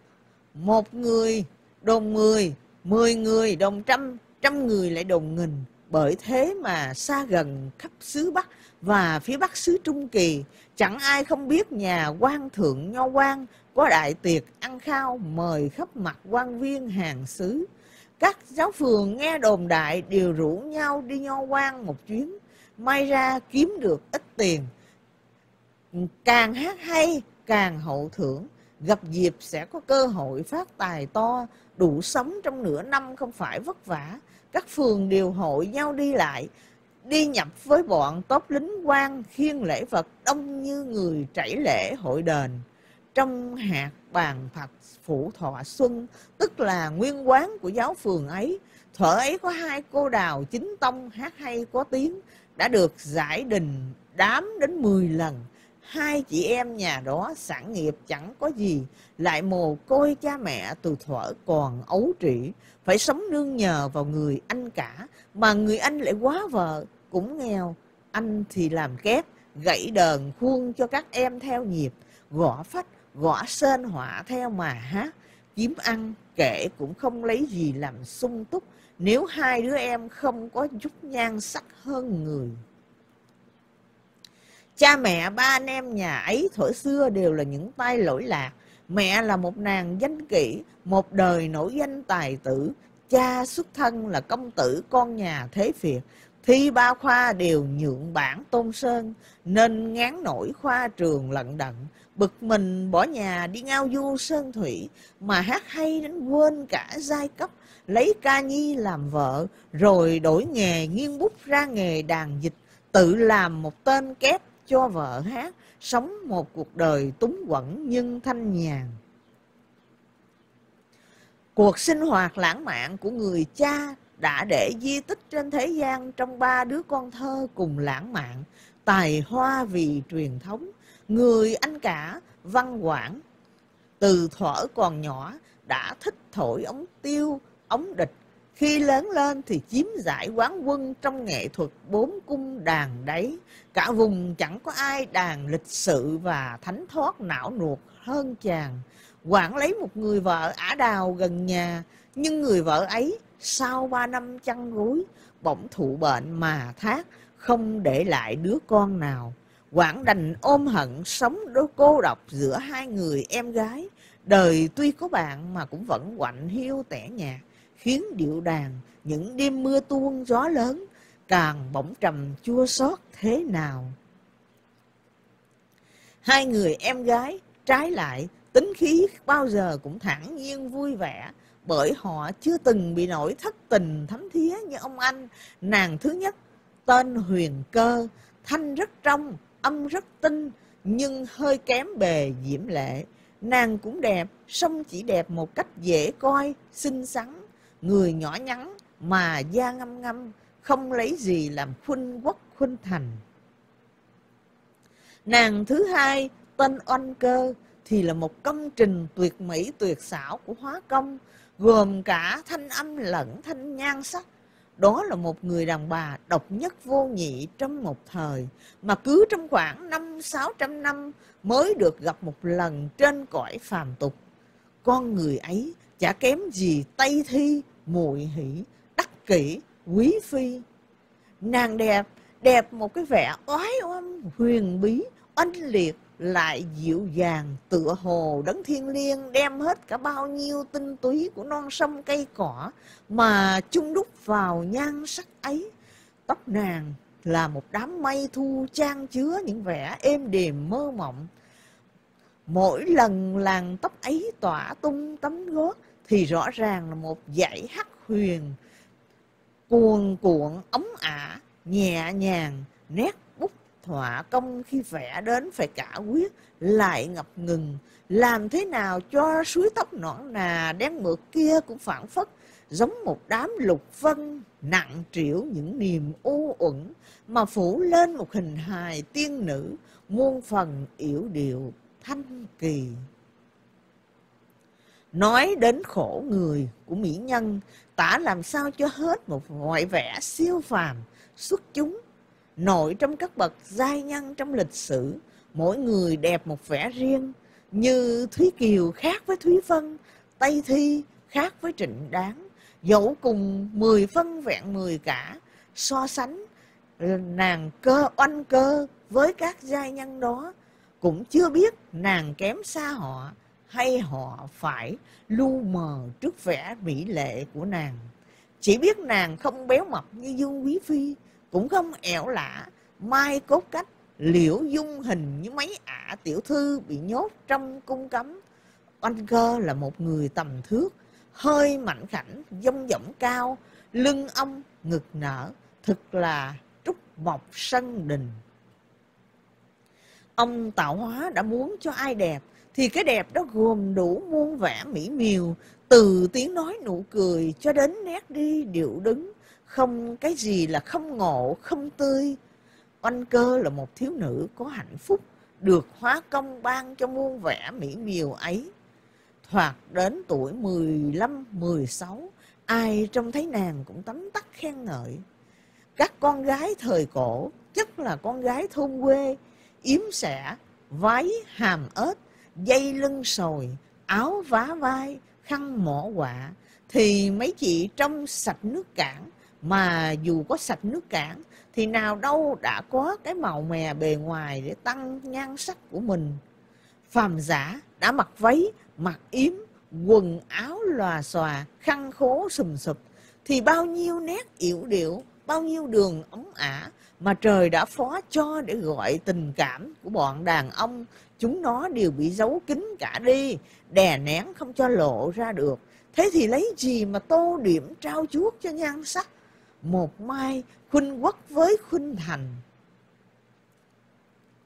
Theo cổ tục, con gái không được để ngực phồng lên mà mang tiếng, phải buộc giải yếm cho chặt, mặc yếm cho sát, làm thế nào cho ngực bằng phẳng, lép kẹp đi thì thôi. Bị tục lệ hủ lậu ấy bó buộc, có được phô trương vẻ đẹp lộng lẫy thiên nhiên của tấm ngực mình đâu mà chăm chút cho nó đẹp. Nàng anh cơ là một thiếu nữ đã chịu ẩn mình sau thứ quần áo cổ lỗ ấy. Vậy cho nên nhan sắc nàng mới gìn giữ được lâu bền. Nếu không, ắt hẳn từ lâu kia nàng không còn tuyết trong giá sạch nữa. Nàng càng khó lòng giữ gìn trinh bạch vì nàng là một cô đầu. Cái bộ y phục cổ hủ của nước Nam ta thở xưa, tuy nó có nhiều điều bất tiện và thiếu mỹ thuật, song nó cũng có chỗ ích lợi nhất là với oanh cơ. Vẻ đẹp tuyệt diệu của nàng mãi sau này mới có được người nhận biết. Còn khi nàng chưa xuất giá, chỉ một mình nàng, huyền cơ được biết rõ mà thôi.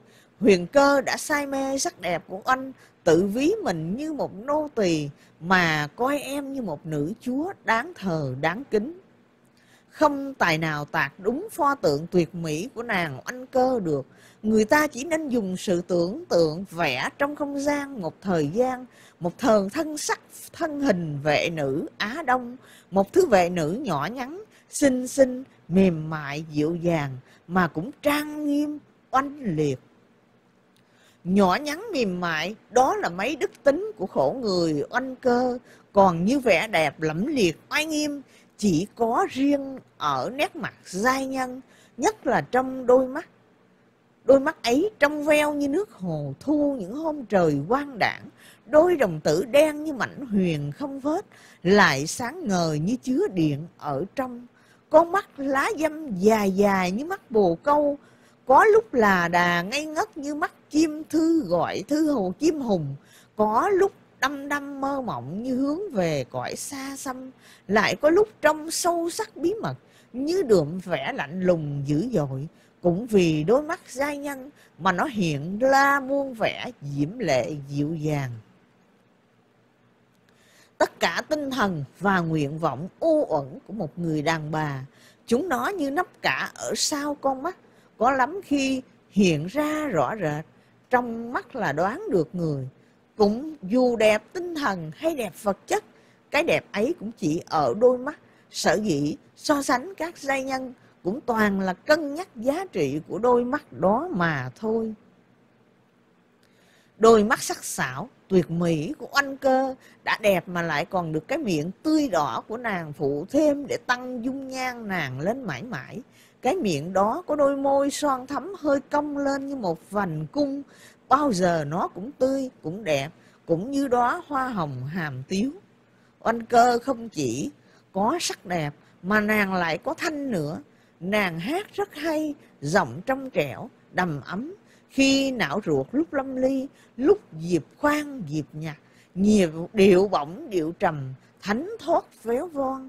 Giọng nàng thật là một cây đàn muôn điệu mà nàng tựa hồ như làm bá chủ tất cả các âm thanh, muốn sai khiến chúng thế nào cũng được.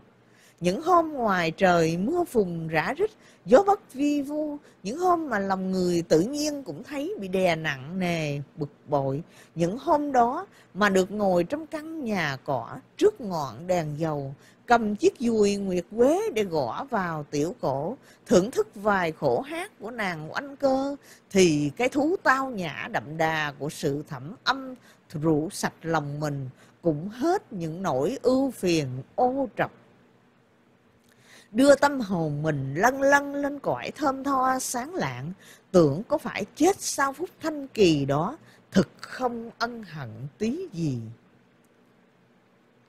Thực vậy, ai đã được hạnh phúc nghe oanh cơ và huyền cơ hát, nhất là nghe oanh cơ thì không bao giờ có thể quên được giọng thanh tao thánh thoát ấy, cái giọng nỉ non âm ỉ ấy. Lúc chứa trang tình cảm, lúc mang mát buồn, Giọng hát ấy trong hơn tiếng trúc, đầm hơn tiếng tơ tinh.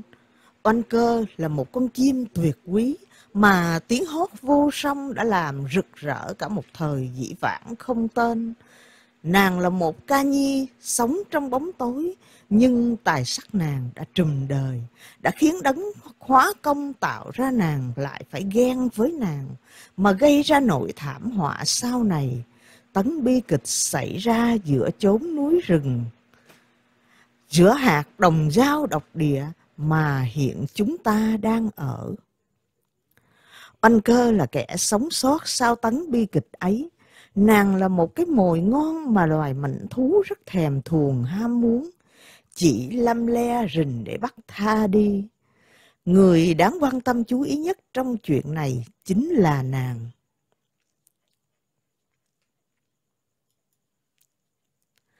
Chương 5 Tai nạn và gặp gỡ Ông cai móm kể tới đây thì dừng lại.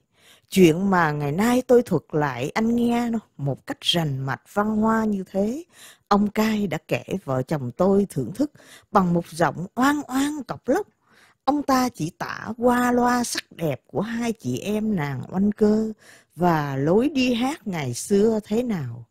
Nay nhân đêm khuya cao hứng, Tôi đem hết cả những sự từng kinh nghiệm nghe biết thêm vào cho câu chuyện có ý vị hoa hòe. Anh cũng nên lượng thứ cho tôi nhé. Ông cai móm sợ dĩ im bặt đi, không nói nữa. Vì xa xa, ông thoáng nghe có tiếng hổ gầm. Ông trầm lặng. Một hồi lâu, chú ý lắng tai trong đêm vắng. Một lát, ông cúi sát lại gần tai tôi, nói nhỏ. Thầy cô thử lắng nghe xem, có phải tiếng hổ gầm chăng? Hổ gầm xong, lại vẫn nghe có tiếng đàn bà ca đứt quãng. Thầy cô cứ chú ý một lúc sẽ nhận rõ ngay. Tôi và Lệ Thi hết sức chăm chú. Quả như lời ông cai nói, chúng tôi nghe có tiếng a o u um um vang động xa lắm ở trong rừng. Nghe như chỉ có thế thôi, ngoài ra không còn tiếng gì nữa cả. Lắng tai mãi cũng thế, ngoài tiếng dế than trùng khóc, tiếng gió rít lá rơi, chẳng có tiếng hát sướng đàn ca gì cả. Chán nản, tôi bảo ông cai, chúng tôi chả thấy gì, chỉ có tiếng hổ gầm ở tận đâu đâu. Lắng mãi chán tai vô ích, thôi ông kể nốt câu chuyện oanh cơ đi, nghe đang thú vị. Lệ Thi cũng nói theo, rồi sao thế nữa hả ông cai? Ông vừa nói có tấn bi kịch, bi kịch ấy làm sao? Ông tiếp đi. Ông cai cầm cốc rượu nếp cẩm, uống nốt nửa phần còn sót lại. Ông vừa để cốc xuống, Lệ Thi vội vàng rót bồi thêm rượu rõ đầy. Ông cai quen thói, khà một cái rất đắc ý, xong liếm môi. Ông nói tiếp. Hai nàng Huyền và Hoanh Cơ có tiếng hát hay nhất xứ. Trong mấy cuộc hát đình, hát đám, nàng Huyền đã chiếm giải đến 9-10 lần. Vì có sức hát giọng tốt, nàng oanh hát hay hơn chị. Song không sung sức, chỉ ca trong nhà được mà thôi. Ra đình giọng bé quá, bị tiếng ồn ào ác đi, không trổ tài được. Dù thế, mặc dầu các quan khách đã từng được nghe oanh thì không muốn nghe Huyền nữa. Như thế là một sự nhục nhã cho Huyền. Thế mà nàng cũng không ghen tị với em, chỉ quý hóa kính phục em thêm mà thôi. Lúc nào cũng có các thượng quan, công tử vời đến hát mừng. Chị lại nhường cho em, mặc sức em trổ tài cùng quý khách. Nhưng hãy gặp quan viên tầm thường, không phải là người trí thức, thế nào Huyền cũng tranh hát, cho em được nghỉ ngơi, dưỡng sức, dưỡng thần. Oanh cơ biết rõ lòng chị như vậy, yêu chị như yêu mẹ, yêu anh như yêu cha, ở với chị một niềm kính nhường hiếu thảo. Tất cả hàng tỉnh, chẳng ai không nức nở khen tài khen đức của nàng oanh, phàm các tai thích từ phú thi văn, tất thế nào cũng mời cho được. Anh em văn quản về tận nhà để hát.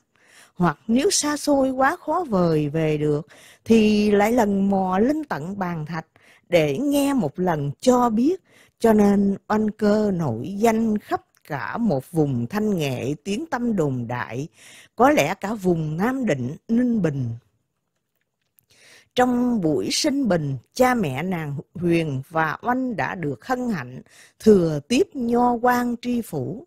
quan phủ xưa kia có nghe thân mẫu hai nàng hát và thân phụ hai nàng đàn. Sau một cuộc thẩm âm, quan phủ nhận biết ông kép già, đương kính cẩn nắng nót cung cầm để vừa lòng ngài, cũng là một nhà nho có tài thi phú, chỉ vì lỗi thời nên phiêu dạt nổi nên sự tri ngộ ấy xuôi quan viên cùng kép hát, dừng cuộc sướng ca để ngâm vịnh với nhau suốt sáng. Trống dùi xếp xó những chỗ cho bút nghiêng, rồi hai tay thăm nho cùng đọa sức với nhau trong một trường bút chiến thanh nhã. Rốt cuộc, quan phủ rất cảm phục tính tình cao siêu và văn tài lỗi lạc của ông kép, nên hai người kết tình bằng hữu. Sau đó, quan phủ có tặng cho cha nàng oanh một hòm trân châu để làm kỷ vật. Còn ông kép già tặng lại bạn một cây sáo ngọc của tổ tiên lưu lại ba đời. Rồi từ đó hai người không gặp lại nữa. Tuy nàng Huyền và nàng oanh có tiếng hát hay, song hàng tháng mới có một lần được gọi đến hát hát hàng tuần suốt ngày hay thâu đêm tới sáng, khi tan cuộc chỉ thâu được độ ba quan tiền kẽm, không đủ cung khách và chi tiêu. Thiên hạ có phải luôn luôn lúc nào cũng có cuộc vui, sung sướng để mượn dịp mà ca hát cả năm đâu. Bởi thế, cuộc sinh hoạt của ba anh em nàng không lấy gì làm sung túc đã nhiều lần văn quản nghe nói ông bạn xưa của cha mình, hiện là quan thượng thư chí sĩ nho quan cũng đã dự định trảy thăm quan đông cát một lần. Một là để nối lại mối dây liên lạc bấy lâu nay đức quảng hai là để mong có dịp được ngài nghĩ tình đề bạc hoặc cứu giúp cho ít nhiều. Nhưng ngày giờ thấm thoát đường xá xa xôi quảng chưa lúc nào rảnh việc nhà mà đi được. Muốn đi ít ra cũng phải có tiền lộ phí và có vốn để lại cho hai em sinh hoạt trong dăm tháng nửa năm.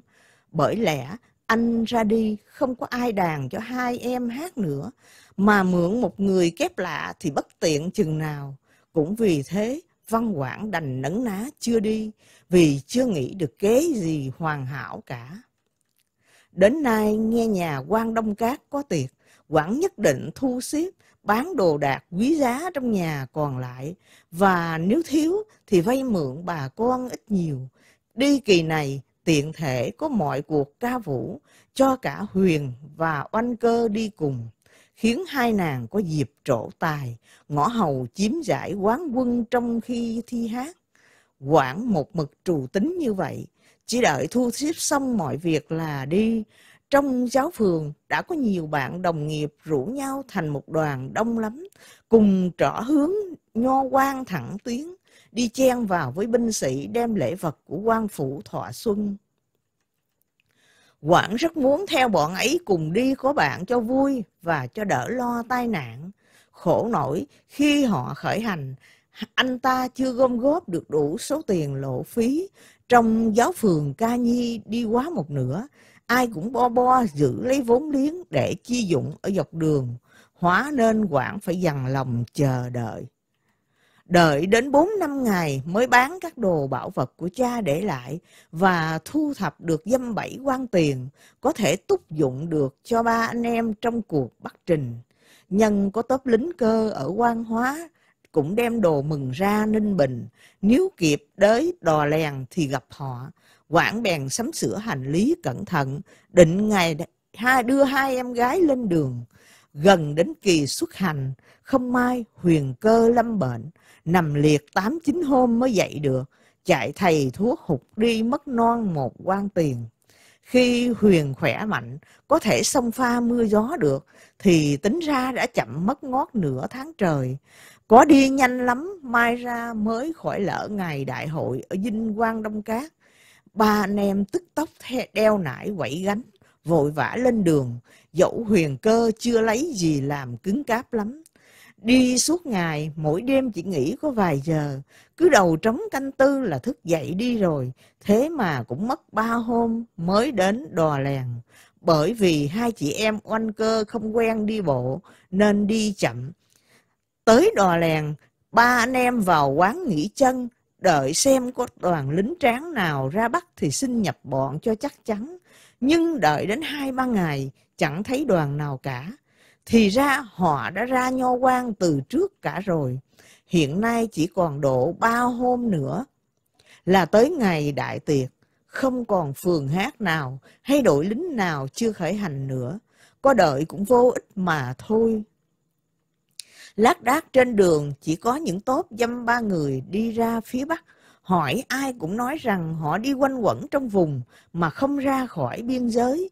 Mãi sau cùng mới gặp một nhóm bảy người cho biết họ rõ buôn gạo tại Ra Ninh Bình, Biểm Sơn, rồi mua chè ở Biểm Sơn tải về bán ở các vùng tỉnh lỵ. Anh em văn quảng buộc lòng phải đi theo họ. Ra đến Biểm Sơn, họ đều rẽ về lối phố cát, Thạch Thành để mặc ba anh em trơ trọi lần mò đi về phía đèo Tam Điệp. Từ đây mới bắt đầu cuộc hành trình nguy nan và khó nhọc. Ba anh em sợ hãi không dám đi bạo, cứ phải chờ có ai qua đường mới lủi thủi đi theo. Mai sau gặp được vài ba người thợ mộc, xong họ chỉ đi đến đền sòng mà thôi. Khỏi đền sòng lúc ấy mới thưa thớt người, không còn ai đi nữa vô kế khả thi. Anh em nàng oanh không biết làm sao cho tiện, đành lần mò vào tận trong đền xin ngủ trọ một đêm, rồi nhất định sáng mai vượt qua đèo Tam Điệp. Đi suốt ngày, ra công cố sức bước nhanh, thế nào cũng sẽ qua khỏi cái chỗ nguy hiểm ấy. Kẻ cướp thì không sợ mấy, vì anh em nghèo chẳng có gì, có lẽ họ chả thèm điếm xỉa đến. Sự đáng sợ nhất ấy chỉ là ông cọp, hệ không may gặp phải thì hết đường chạy trốn kêu vang. Ba anh em cùng thành kính lên cửa đền, quỳ xuống lễ hết tất cả mọi vị linh thần, thờ thánh mẫu và các thần bộ hạ cùng các ông hoàng bà chúa. Khi đến trước thần tượng Bạch Hổ giữ đền, cả ba cùng khấn khứa rất lâu, cầu Đức Bạch Hổ phù trì cho giữa buổi sông pha rừng núi, đừng xui xảy ra tai nạn hiểm nghèo nào. Cái đêm hôm ngủ trọ ở đền sòng, ba anh em nhắm mắt làm sao cho nổi. Đền làm ở giữa một nơi rừng sâu núi thẳm, xung quanh toàn là cảnh rùng rợn hoang vu. Hệ cứ khuất bóng mặt trời là nghe muôn vàng tiếng kêu, tiếng hú, sợ đến sợn tóc gáy. Những ngày không có hội, thiếu gì loài mảnh thú, ác thú đều qua lại né ngoài đền. Thôi thì hùm beo, sói, gấu, bò tót, lợn lòi, chả còn thiếu giống gì đến quấy nhiễu nhân gian, bắt gà, bắt chó, dẫm nát cả ruộng lúa, nương khoai đến sáng ra, vết chân in trên cỏ thấy rõ mồm một. Bước ra khỏi đền buổi tối trời, tức là tánh mệnh khó toàn vẹn lắm. Có đi một lũ đông khi sáng sủa, họa chăng mới có thể tránh khỏi hàm vuốt beo. Cả đêm chỉ nghe vượng hú, cú kêu, hòa với muôn vàng thứ tiếng khác nghe rất lạ và xé vừng không khí, trội hơn tất cả các thứ tiếng. Một tiếng à ôm vang rộng cả rừng trong đêm tối, dội vào da thịt và xương sống mình một luồng khí lạnh, lạnh hơn hơi lạnh của mùa đông. Đường lúc băn khoăn lo ngại, trời sáng cúc nào không rõ. Ba anh em văn quảng thấy có ánh bình minh mà vẫn chưa dám đi ra. Đợi khi mặt trời đỏ chói cả vườn đông, bây giờ mới quậy gánh sách nải, giả từ ông bà đồng, lo lắng ngần ngại đi lên, trong mé đèo Tam Điệp thẳng tiến. Từ Sòng Sơn tới Tam Điệp còn xa lắm, vả lại ngoằn ngoèo, khuất khúc, chả biết theo hướng nào cho khỏi lạc. Chơ vơ một người, hai anh, hai đứa em ngơ, ngơ ngác trên quãng đường rừng hoang vắng, không đánh bạo cố mà đi đến, cũng chả còn kế hoạch gì. vả lại chung quanh mình chẳng có ai để dò hỏi cho biết lối, thôi cứ đành nhắm mắt đưa chân, cúi đầu thành kính trước thần linh, rồi phó mặt tấm thân cho số mệnh, muốn đến đâu thì đến. Ba anh em đi mãi, hết sức bước nhanh, gấp bội, mong sao lên đến ba đèo, đường hai bên toàn cây cối và lao sậy. Quảng dắt tay oanh, oanh dắt tay huyền, im lặng theo gót nhau mà tiếng, đi mãi, đi mãi, hình như đã quá trưa rồi.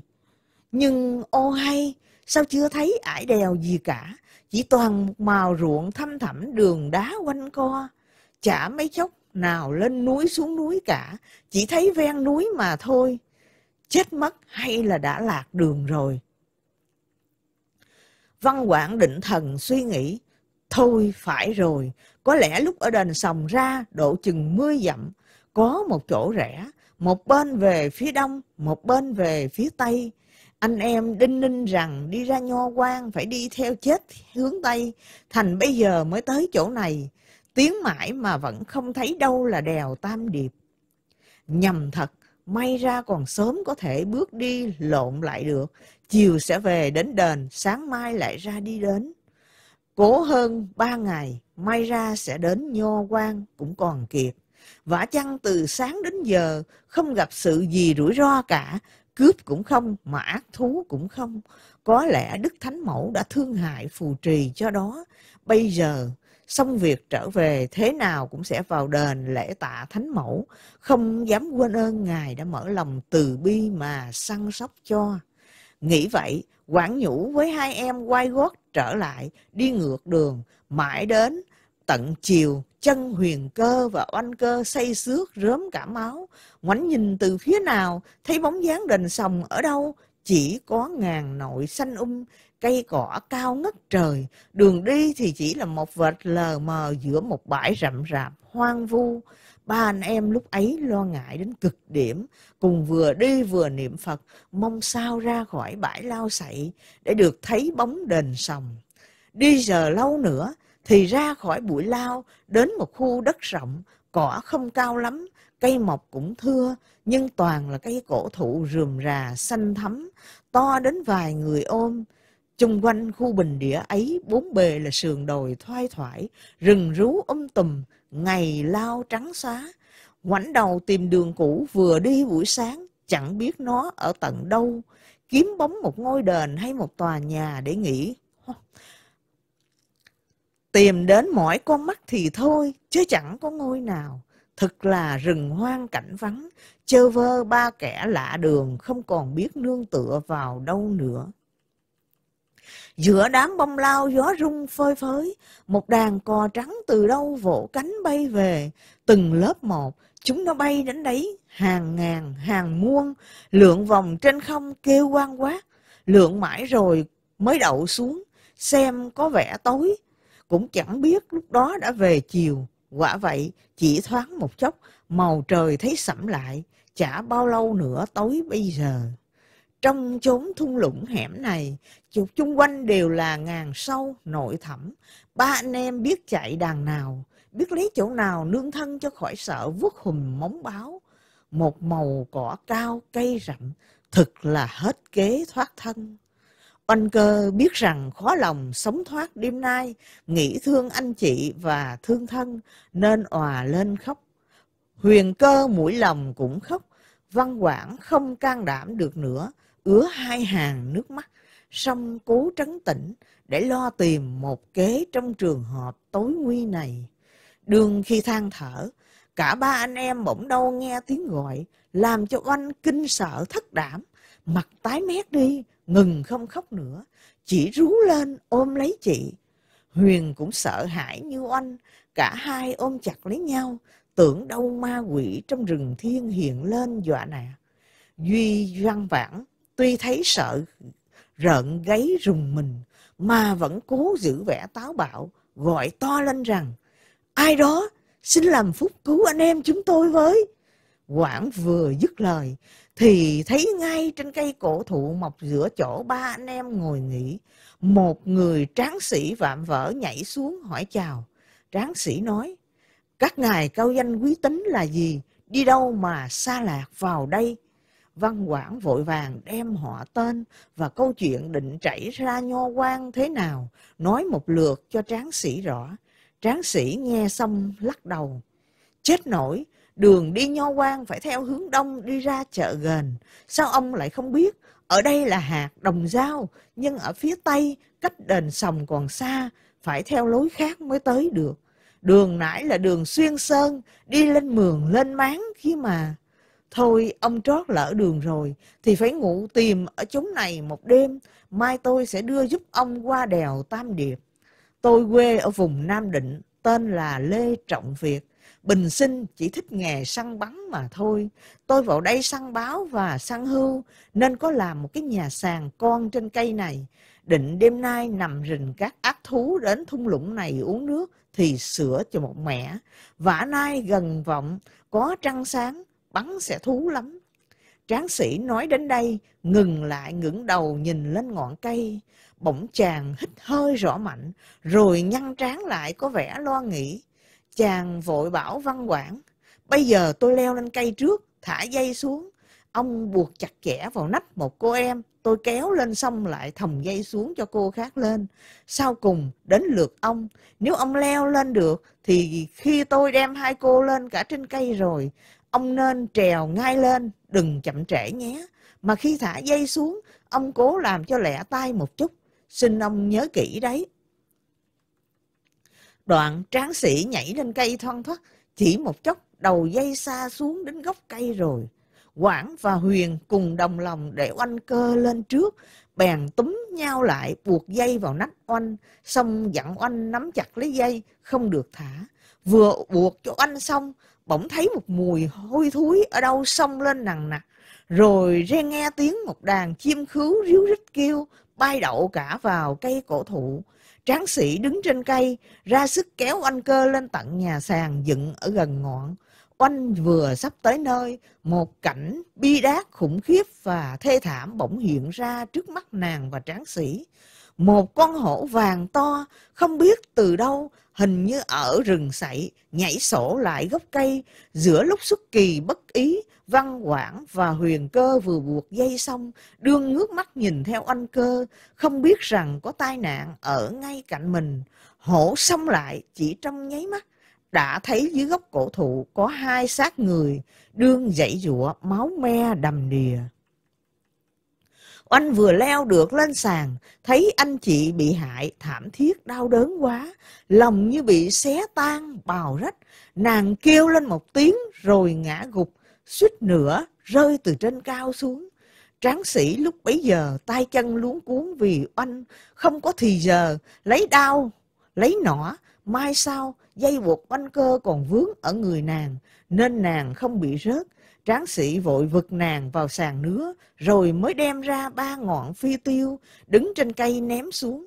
Hổ đang ngoạm đùi văn quảng, bị một mũi phi tiêu trúng cổ, một mũi nữa trúng sườn. Đau quá, vùng gầm lên một tiếng, bỏ mồi chạy mất. Tráng sĩ phóng theo một mũi tên cắm vào đích hổ. Hổ nhảy cao, biến mất vào bụi rậm.